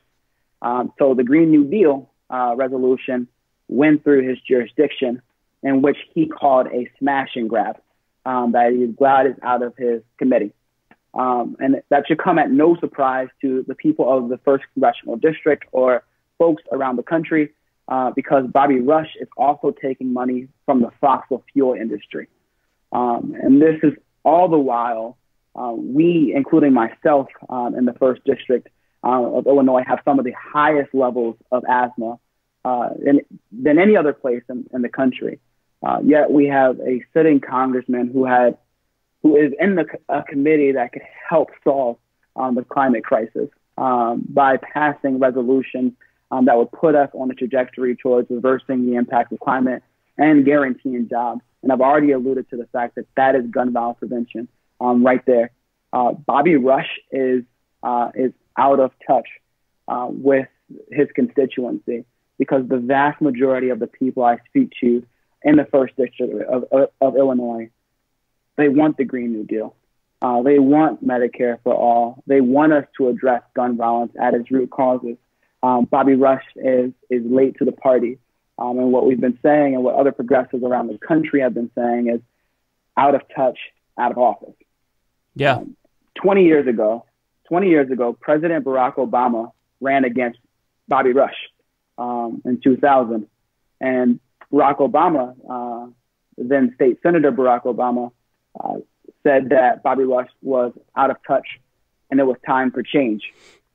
It's been 20 years since then, uh, so you can only imagine what the people of the first district feel uh, currently, and that is why uh, folks all around the district are so excited about this election um, and our candidacy um, because our mindset is fixated on the belief that we are the solution together, meaning one person alone, one election alone will not solve uh, the issues at hand.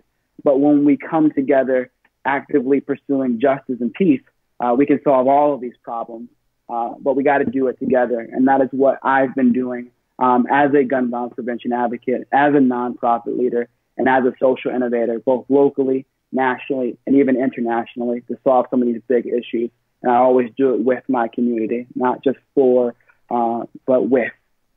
And that really is the difference, I think, between grassroots candidates and community organizers, people who just know the issues of their community, and someone who's been in Congress for years, decades, and like they just grow out of touch. Like this is kind of a similar story that I'm hearing, but you know, throughout the country, you know, their candidates are running against someone who has been there forever, and maybe at first they had a lot of new, fresh, innovative ideas, but time has passed, and they kind of just grew complacent and comfortable, and just feel like, well, you know, I'm here. I don't have to do much. I have, you know, the power of incumbency behind me.